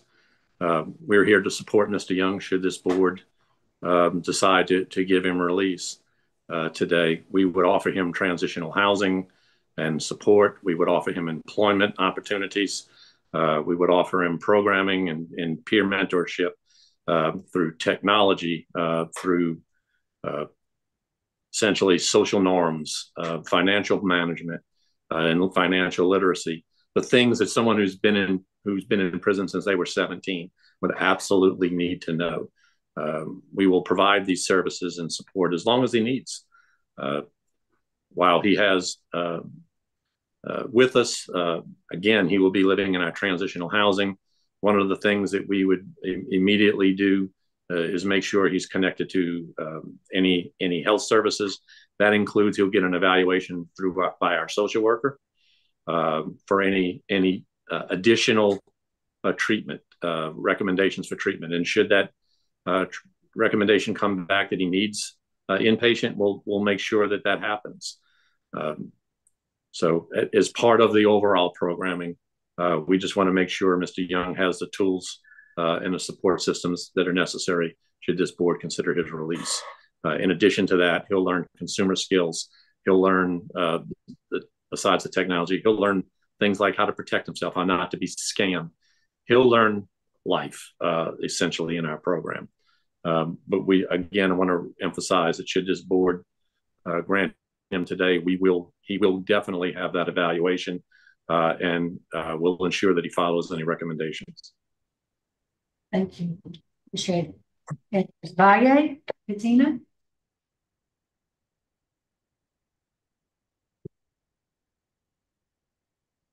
You're, you're on mute. Can you unmute your, your microphone? Okay, sorry about that. Good morning. Morning. I live in New York, and I believe that Mr. Dwaine Young deserves a chance. And when he's finished with um, transitional housing in Louisiana, I want him to come live with me. And if he needs transitional housing or support with drug program, I can get him into all that. I've been at my job for 19 and a half years, I deal with people with physical and mental disabilities, and I've have I have access to all of that. I don't do drugs. I don't drink. Where did you say you are? New York, upstate. Okay. All right. Well, thank you I for live taking. where I live where everyone knows one another. Um, I have a niece and a nephew that's in law enforcement. They live here. So I'm around positive people. Well, thanks for, uh, thanks for speaking with us this morning. We appreciate the support that you offer Mr. Young. Uh, at this time, we'll hear from, uh, the victim's brother, Joseph Rochelle. Mr. Joseph?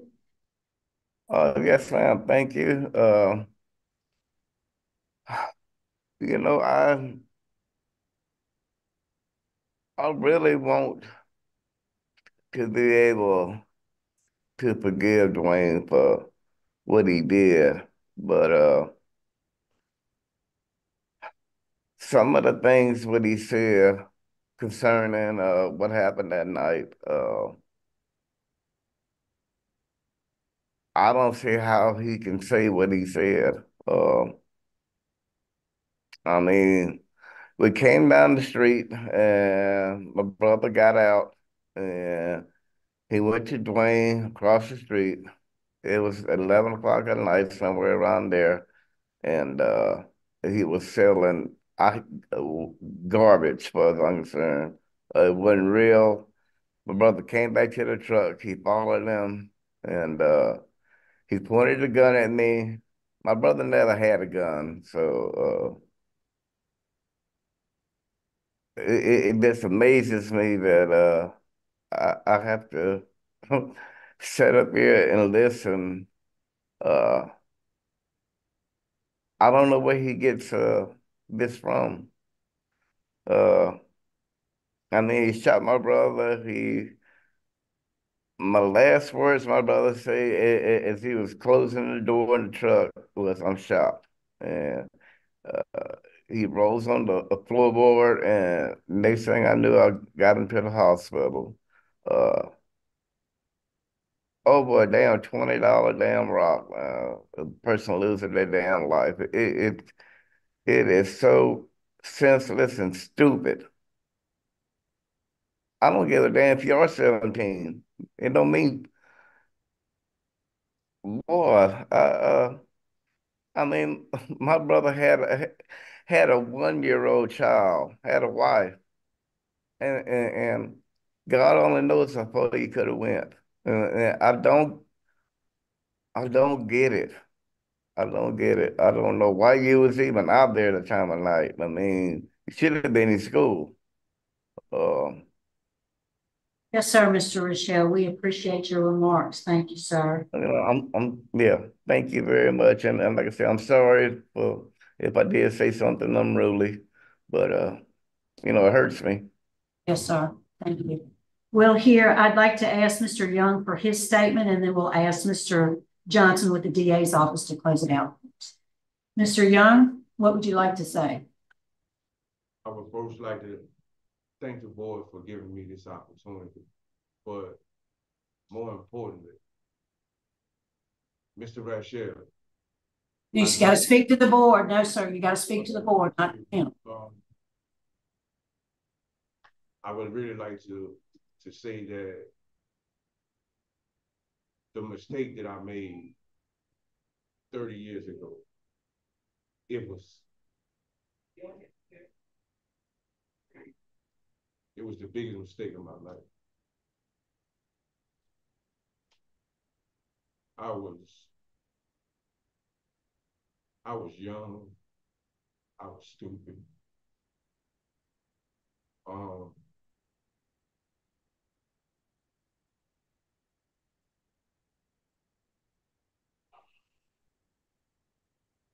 I've never been an aggressive person.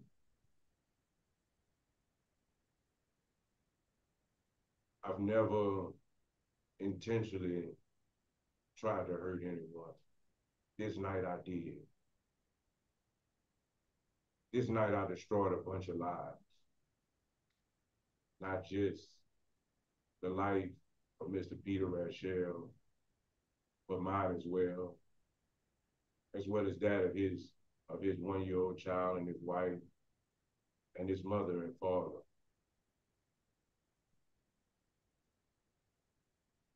If it was possible for me to go back and relive this whole moment, I would have never been standing there with crack in my hand. I would have never had a gun on me. And therefore, I could have never shot Mr. Rachel and took him away from his family.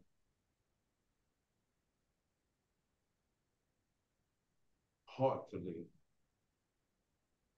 I'm sorry for everything that I caused, all the pain, all the hurt. And Mr. Rachel, he has every right to be angry and mad and aggravated with me. But I'm not that same man. I'm not that 17 year old child. I understand the meaning of life. I understand the meaning of family. And I understand that human life is the most precious thing that we have.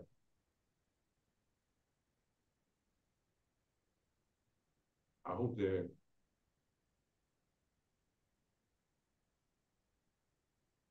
I hope that no one else has to go through this. And this is the reason, this is my mission in life now to try to prevent kids from committing stupid and senseless crimes for nothing. Thank you. All right, thank you, Mr. Young. All right, I think we're prepared to vote. Yeah. Oh, I'm sorry, Mr. Johnson. Yes, ma'am. Please. Yes, ma'am. First off, I want to thank uh, the board for this opportunity to speak. My name is Derek Johnson, Assistant District Attorney with the Rapides Parish Sheriff's, uh, Rapides Parish District Attorney's Office. I apologize. Um, just a couple couple notes that I had written down um, when Mr. Young was speaking. Uh, 17 write-ups in two years. Um, from our standpoint, all, all we hear is excuses. Uh, three times intoxicated. Um, Mr. Young hasn't shown any progress of trying to be a viable member of society. That um, you know, he stated today that he plans on taking every event, every advantage of every opportunity, but it seems that he only took advantage of the discrepancies in the penal system by being able to sneak in controlled um, dangerous um, substances and contraband. You know, in closing, um, drugs were involved in, in this in this heinous act. You know, when when he was 17 years old, and he's failed to eliminate those things that caused his demise. Um, I think um, b- before uh, the board can um, will consider releasing him, I think he needs to show that he has been rehabilitated and that for a substantial period of time instead of just um, taking his word saying that oh when I get out I'll be able to change. And um, that, that's that's that's where um, our office stands. That we're, we're still strongly opposed to him getting released today. Thank you. Thank you, Mr. Johnson.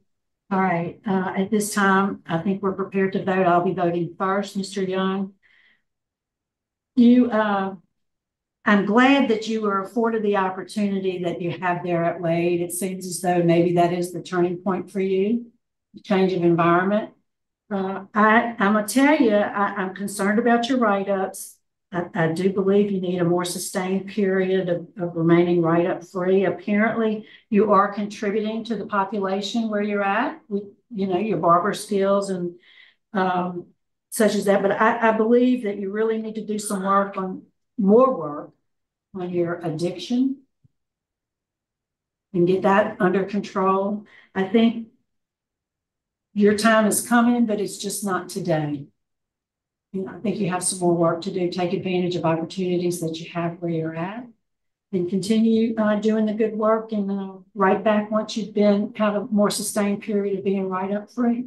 My vote today for those reasons is to deny parole. Mr. Prater, Uh, I vote to deny. Mr. Tillis, Uh, you know, thirty years is a long time. And, uh, I believe that you change. I really do. Um, I hope that you can get some more training to um, get rid of this drug problem. I really believe in my heart that you've changed, but I'm going to have to go ahead and agree with my colleagues. All right, Mr. Young, you've got hope. Don't give up. Keep doing, keep doing it. You can reapply. Good luck.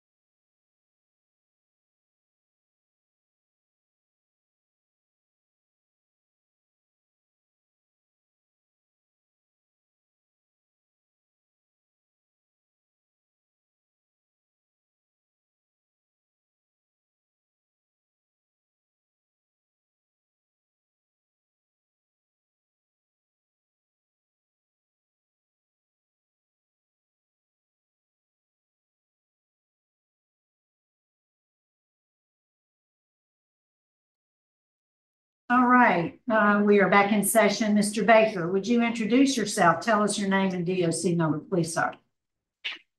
Wayne Baker, thirty-six eighty-seven fifty-six. All right. Good morning, sir. My name is Sheryl Ranatza. This is Mr. Steve Prater to my left, Mr. Chuck Tillis to my right.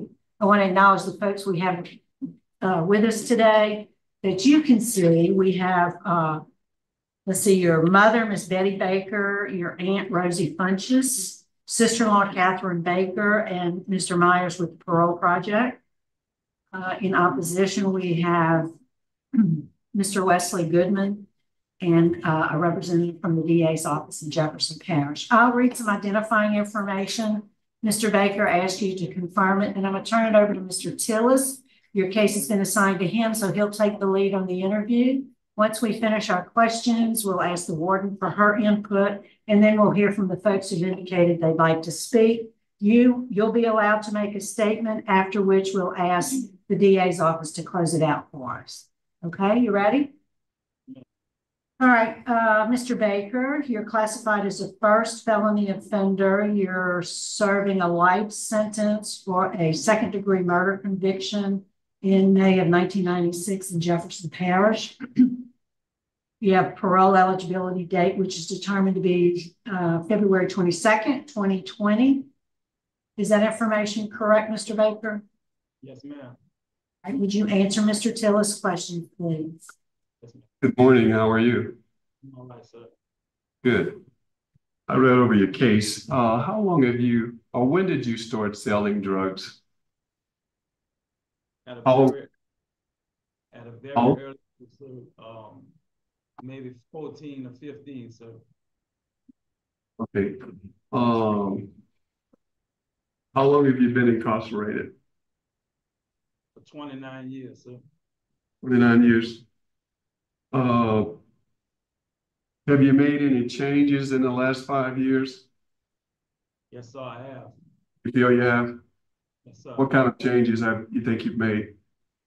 I made personal changes in my life since November twenty-second, twenty twenty-two is when a light bulb switch came on in my head to where I had to get my life together. Um, I grew spiritually, I've matured in, in all areas of my life. Um, Okay, uh, twenty-nine years. In the last two years, you, you've kind of made a decision to straighten things out. Well, sir, it's not so much that day. It's like I had got hooked on drugs, sir. And the drugs had took control of my life. I was on a down spiral. And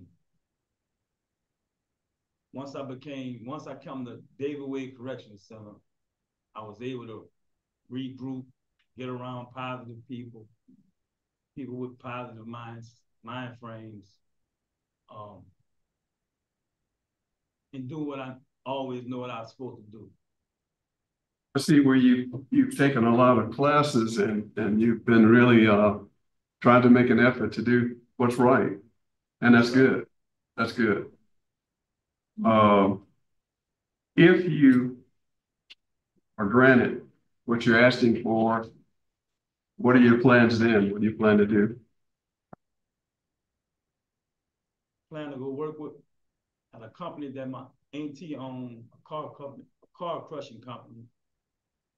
But in my spare time, I would like to speak to the youths, guys that been misguided like I have been for all my life, and and in hopes to change a life, uh, help help a kid to go the right path. I can I can assure you that if given parole today, I would I would never harm another human being. I don't have to be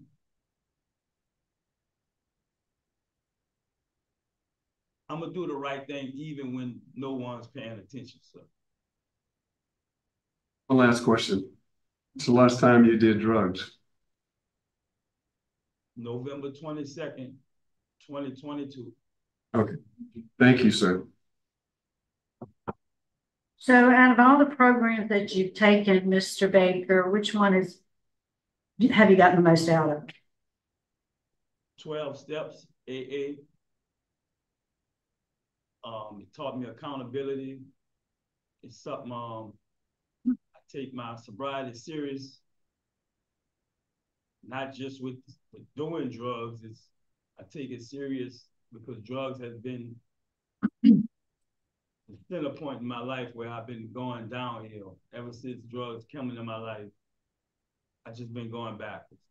Everything. Did you go to AA meetings now? Ma'am, Go to AA meetings? yes, ma'am. How often, do- how often do they have them there? Um, they have them weekly, once a week now, just like an open call out. Mhm. I, I attend that, but I didn't already achieve, I, I already got the certificate for it, but I still go to it because it's an everyday struggle with drugs and I, I need to be around positive mind frames, people that's wanting the same thing that I want. So how long you been there, David Wade? Ma'am, How long you been there? since November twenty-second, twenty twenty-two. So you were at Angola prior to that? Yes, ma'am. Did you go to AA meetings there? Yes, ma'am, I have. Then you had the positive drug screen. Did you, did you test positive when you got there? Or that's why you were moved, or both, I guess? I, I tested positive once I made it to David Wade Correctional Center. And what was the substance? Methamphetamine, And so when you were on the street, what was your drug of choice? marijuana, And so you, you claim to be a drug dealer? I was both. I, I Oh. sold drugs growing up and I, I used to smoke marijuana, recreation. And over the years, um, maybe last eight years, nine years or so, I started doing harder drugs. Meth, or whatever, whatever you could get your hands on? Basically, whatever I got my hands on, man. So what substance abuse program, since you've been moved to Wade, what substance abuse program, education or otherwise have you been able to take? Um, I got my HiSET. Now, I'm talking about substance abuse. I did see you got your HiSET. You got that just last year. Congratulations, I think in November. Thank you, ma'am. AA, uh, Living in Balance, Toastmasters. Um.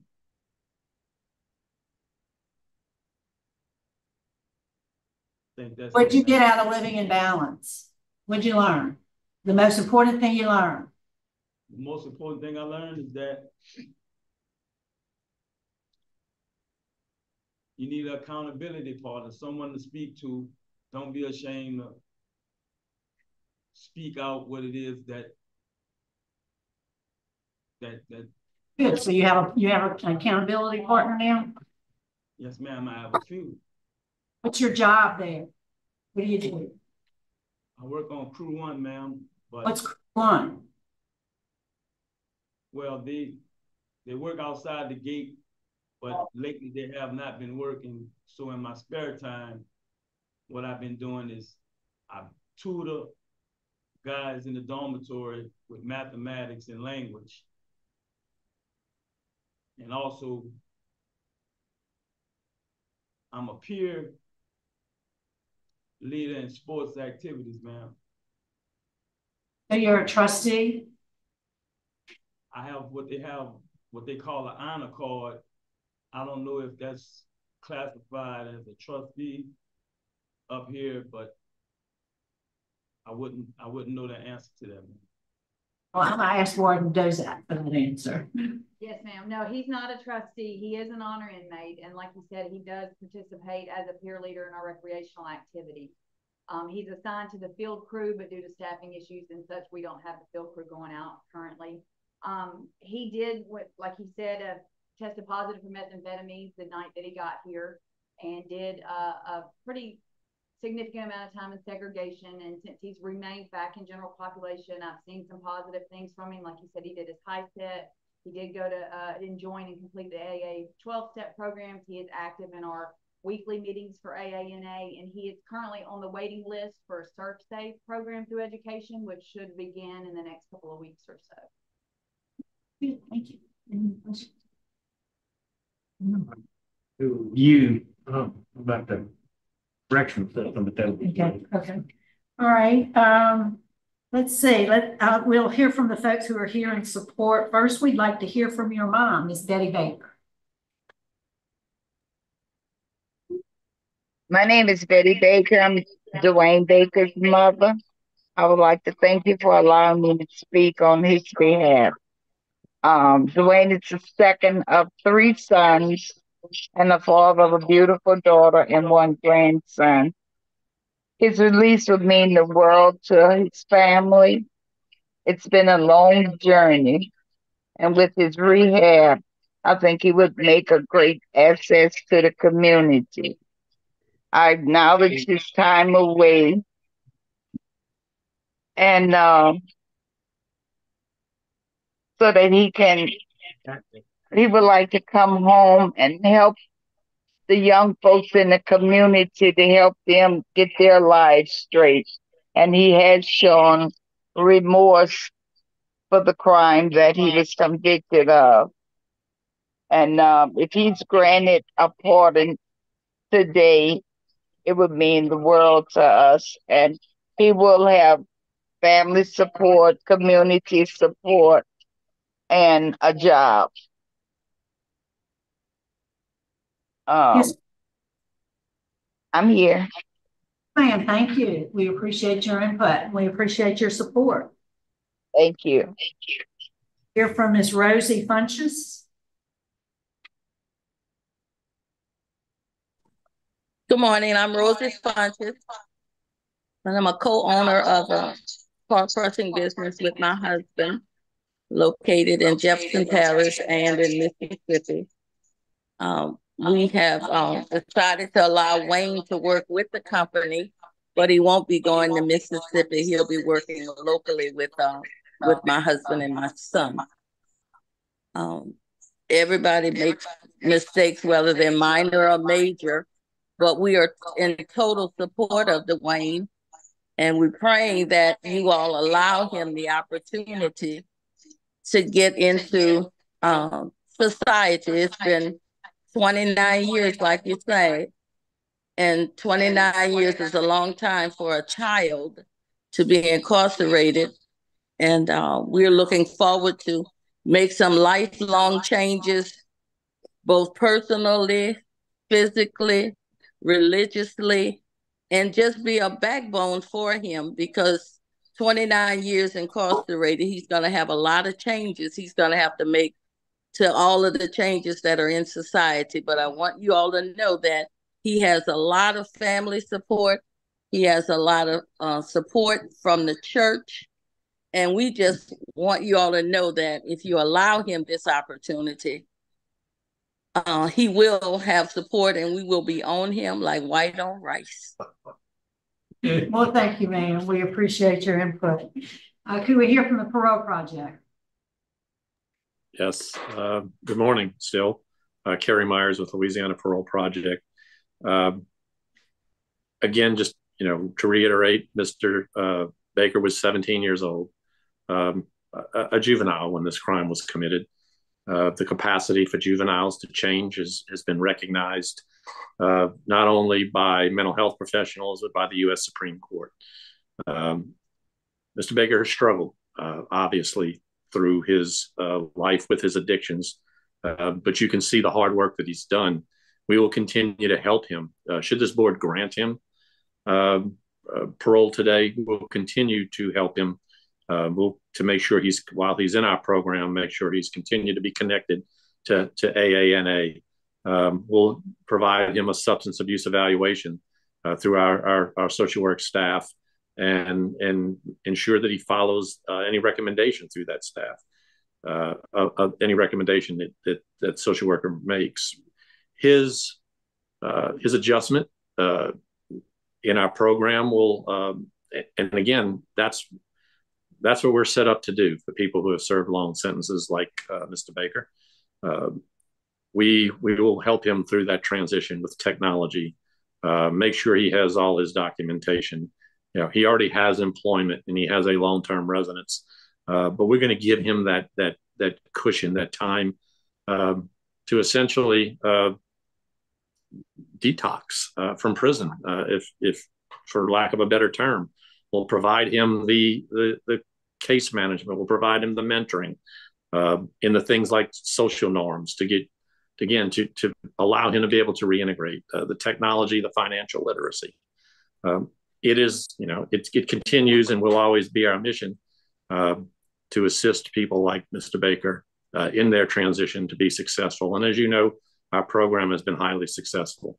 So we believe should this board uh, grant Mr. Baker today, um, the, the combination of our program and the family support, um, Mr. Baker will be successful. All right, thank you, sir. Uh, we'll hear from the opposition now. Could we hear from Mr. Wesley Goodman?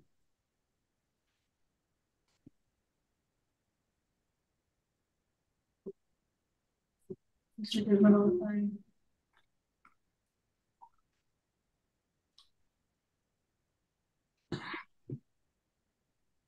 Right. He's he's uh, apparently logged out. We're going to try to get in touch with him. In the meantime, Mr. Baker, is there a statement you'd like to say to the board? Yes, ma'am. The incident that took place is one that I'm gonna live with for the remainder of my life.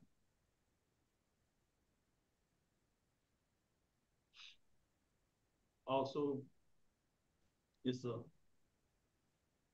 it's an incident that I'm sincerely, heartfully, and remorsefully regretful towards. Silently,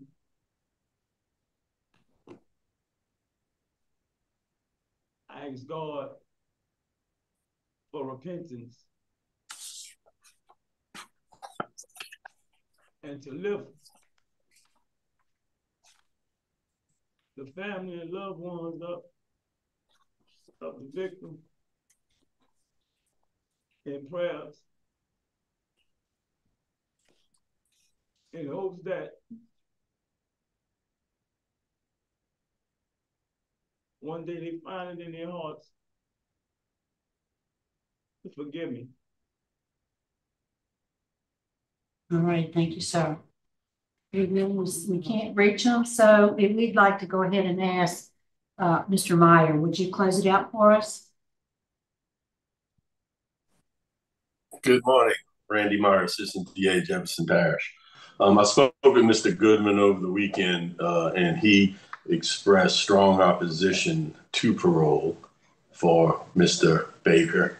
Um, I've also spoken to other victims and, and would note in the record there are, uh, I want to say, about five or six victims uh, who did respond, all of whom were opposed.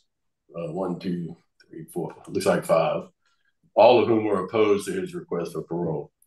Um, the concerns I have with Miss, and we're opposed as well, and the concerns I have with Mr. Baker's request is first, um, he didn't, y'all didn't ask him about the the offense and the facts surrounding the offense. Uh, he was two months shy, roughly two months shy of his 18th birthday when the shooting occurred. Um, what happened in the offense, Mr. Goodman and his his wife drove up to the to the scene to buy some drugs. Uh, they were making the transaction, and what Mr. Goodman advised me was that Mr. Baker came up with a gun and tried to rob both the person who was selling him the drugs and them of the drugs. They sped off, and Mr. Baker shot numerous times at the vehicle, to the fleeing vehicle. Um, you know, his people, you know, trying to get away from a guy coming up at him with a gun. What's concerning to me is if we look at the uh, juvenile lifer evaluation, which was conducted on 12 28 of 23, it states, uh, I believe on the second page, that uh, according to inmate Baker, on the night of the offense, he was selling crack cocaine. A van drove up, drove up for what appeared to be a drug purchase. The driver of the van attempted to steal cocaine and immediately drive off. Subsequently, inmate Baker fired several shots at the fleeing van, fatally, in, fatally injuring a female passenger. It's uh, a little bit different factual, um, a little bit different factually from what Mr. Uh, uh, Mr. Goodman has advised occurred that evening that they actually had, you know, made a deal on some on some drugs, and Mr. Baker came up to rob them.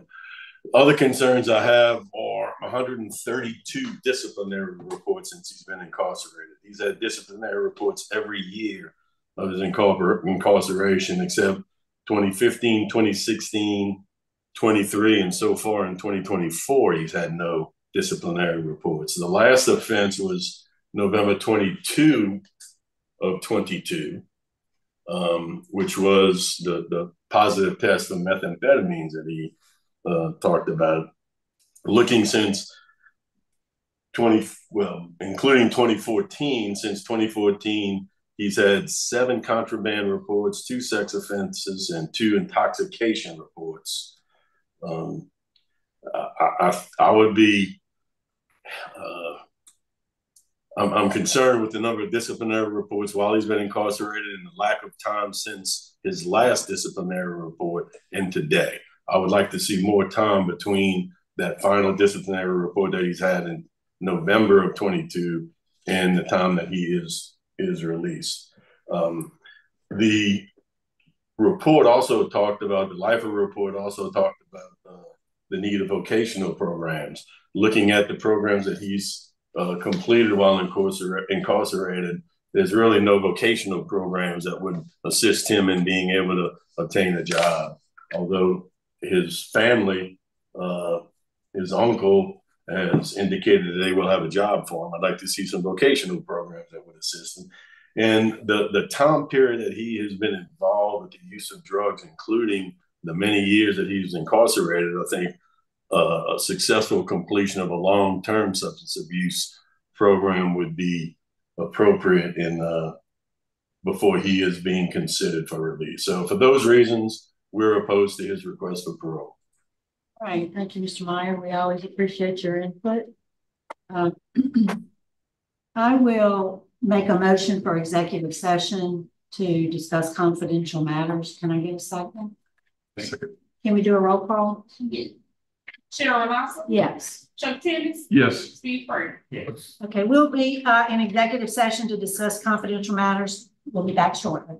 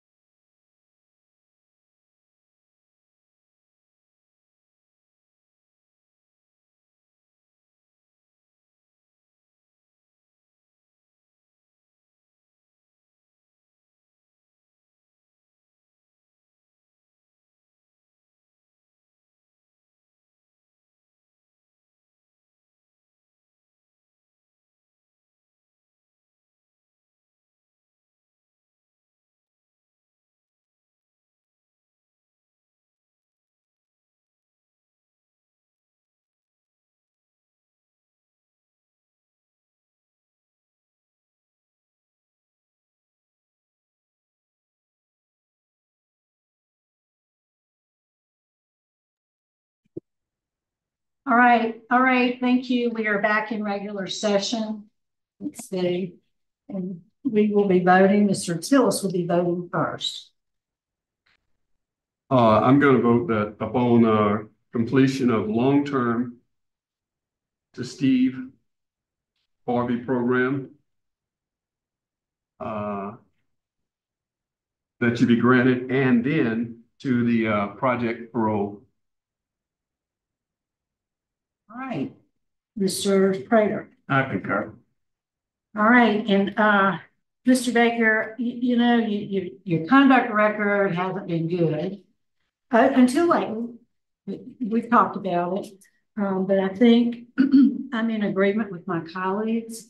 You, you really need the substance abuse treatment. Are you familiar with the Steve Hoyle program? You heard about it? It's an intensive substance abuse program. I think y'all are still on mute. It's an intensive substance abuse program, and we're sending you to the long-term program. So you get the tools that you need to conquer your addiction, and then you got to follow up. They'll recommend a, a plan, uh, a treatment plan after release, and you got to follow that plan. All right. Parole project's to give you some additional counseling. So today, sir, your parole's been granted, but you've got some work to do with the Steve Hoyle program. Yes, ma'am. All right, good luck to you. Very much, ma'am. Thank y'all. Thank you. Okay, that, uh, we're gonna sign off from David Wade. It is twelve oh seven. Y'all have a good afternoon. Y'all have a good day.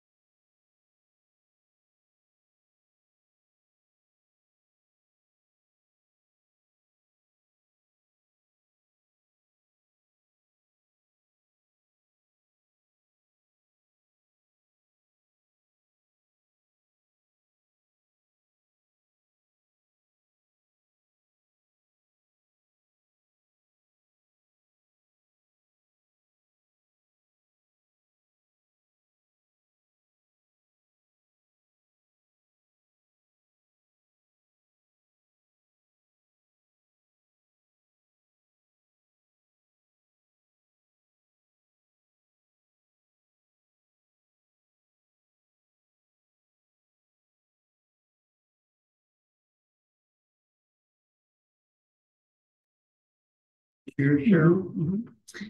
All right, good afternoon. Mr. Davis, is that you? Yeah. Y'all are on, your, your, uh, your device is on mute. Is there anybody in the room with you? That that can unmute it? You don't need it.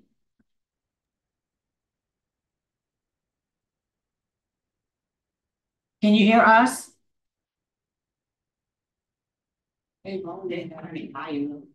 We need, it, maybe, maybe the volume needs to be turned louder. We can't hear y'all. Can you hear me? Oh, now I can. Yes, I can. Okay, okay, thank you. I'm Miss James. No, I'm, I'm talking to the jail. So is there anybody there in the room with you, Mr. Davis, that can turn the volume up?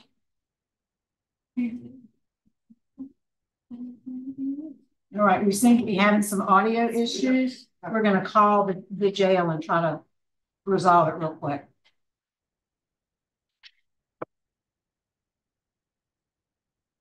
You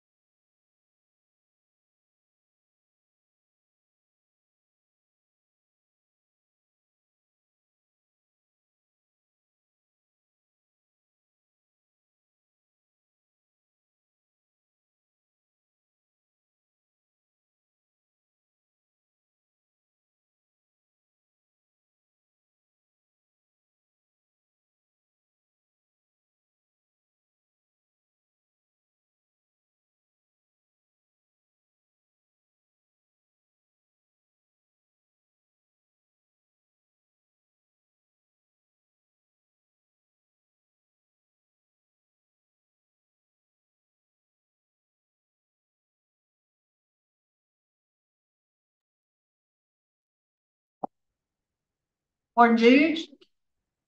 Yes. All right, we are, uh, let me go through those preliminaries again. Wait, hold on, I'm getting a little feedback. So Warden Jude, you're in the room with the offender? Could y'all turn off y'all's mic, uh, speaker in there with him?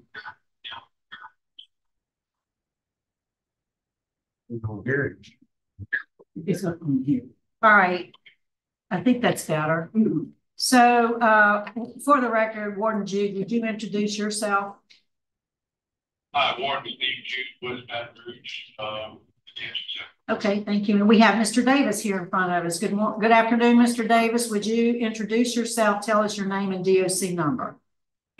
My name is Charles Davis, DOC number six, All right, Mr. Davis, and let me recognize the folks you can probably see on the screen. I want to recognize your Aunt Nicole Harris, your Aunt Letitia James, and Takita Marshall, your girlfriend, and your Aunt Nicole will be speaking on your behalf at the appropriate time. First, let me just read some identifying information into the record, and then we're going to have a parole interview with you, okay? All right. So, Mr. Davis, you are classified as a second felony offender. You're currently serving a 30-year sentence. You were sentenced September 2021 in Ouachita Parish, criminal conspiracy to commit second-degree murder. Your parole eligibility date was September 27, 2023, and your good time date is October 15, 2025, with full term being in March of 2046. Is that information correct? So, um, Mr. Mr. Davis, explain to us, you were on supervision at the time this particular crime occurred. What were you on supervision for? Aggravated battery. And you also have, I think, another felony conviction, which is also a violent offense. Is that right?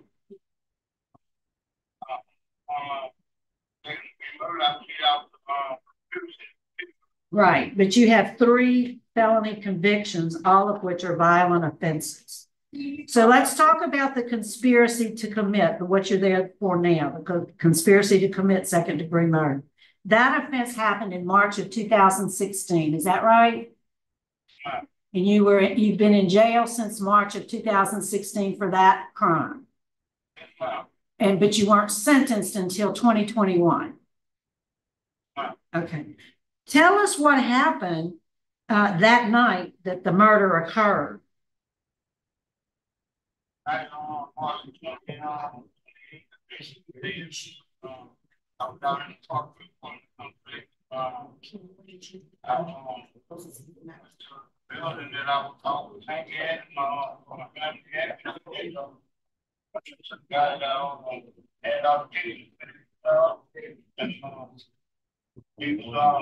Mr. Davis, wait, wait, stand by, Mr. Davis. Warden Jude, can you put the microphone a little closer to him so we can hear him better?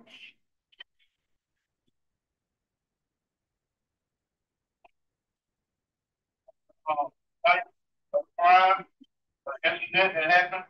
Um, I was out in the Parkville apartment complex where I hang out at, and um, I run into the guy that I had been fooling with at the club from an incident that happened at the club, and um, one thing is, so then I was on alcohol, I was on drugs, and I him Multiple times, right?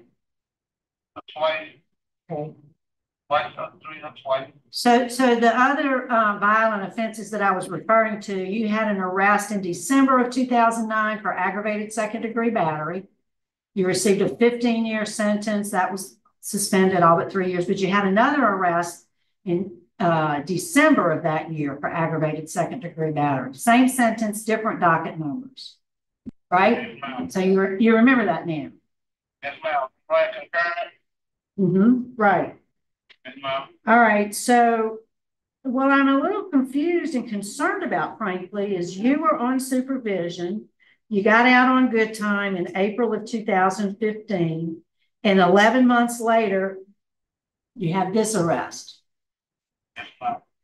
And so you you pled guilty, right, to an amended charge of conspiracy, Wow. and you agreed to that, and you received a 30 year sentence.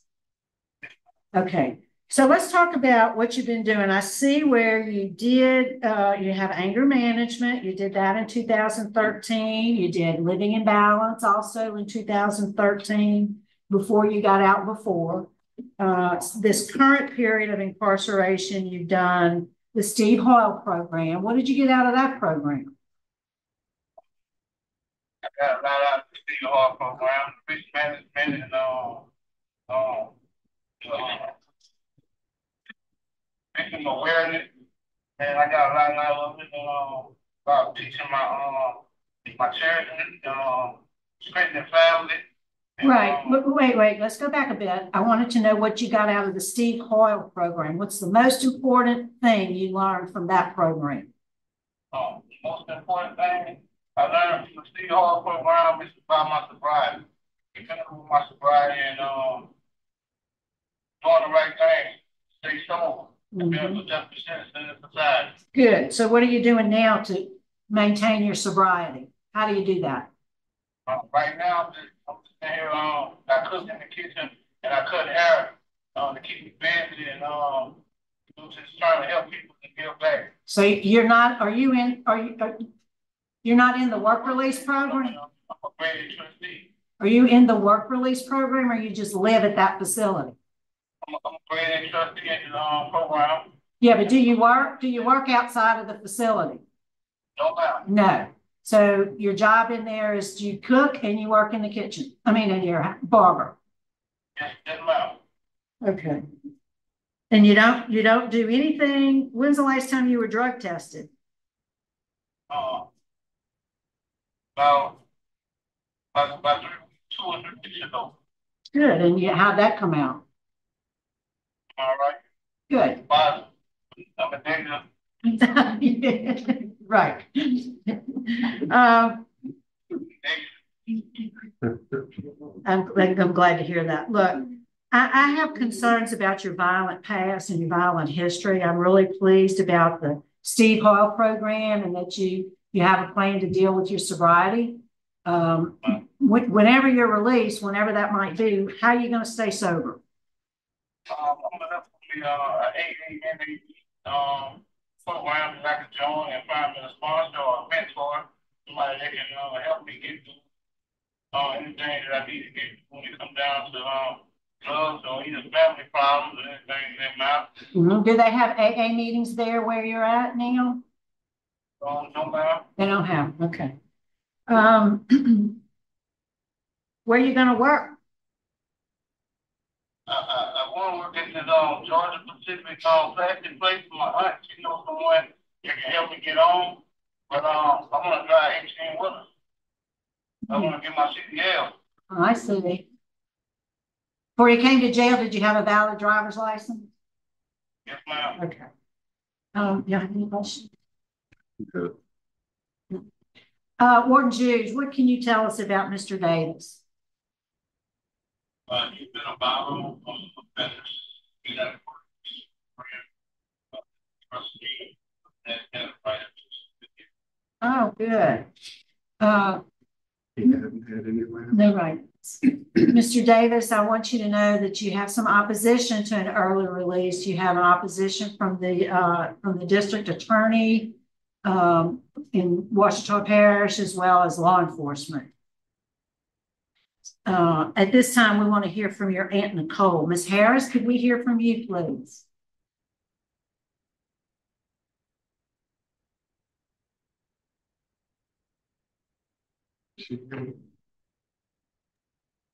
Hello, can you, can y'all hear me? Yes, we can. Okay, I'm here. Go ahead. What would you like us to know? Okay. First of all, I would like everyone to know that over the years with speaking on the phone with Charles and listening to him and telling me about all the classes that he have taken, um, also considering his health, um, I'm gonna help him get a job and maintain a job. I'm well um networked into community. So I have a few people that's gonna get a job, help me get him a job so he can stay working and just be very supported on him. Um, we lost my sister's mom, diabetes, which is the same health issue that Charles is dealing with, and we are concerned about that. But I just see the change in him, and um, he have a son that's going to be graduating soon, high school. I just know that this time is going to be a better time for him. Good. Well, thank you, ma'am. We appreciate you taking the time to speak with us today. Mr. Davis, is there something you'd like to say to us before we vote? I want you to know that I'm, um, I take full responsibility for my actions. And, um, I would like to apologize to the family one more time, sorry for this behind. Mhm.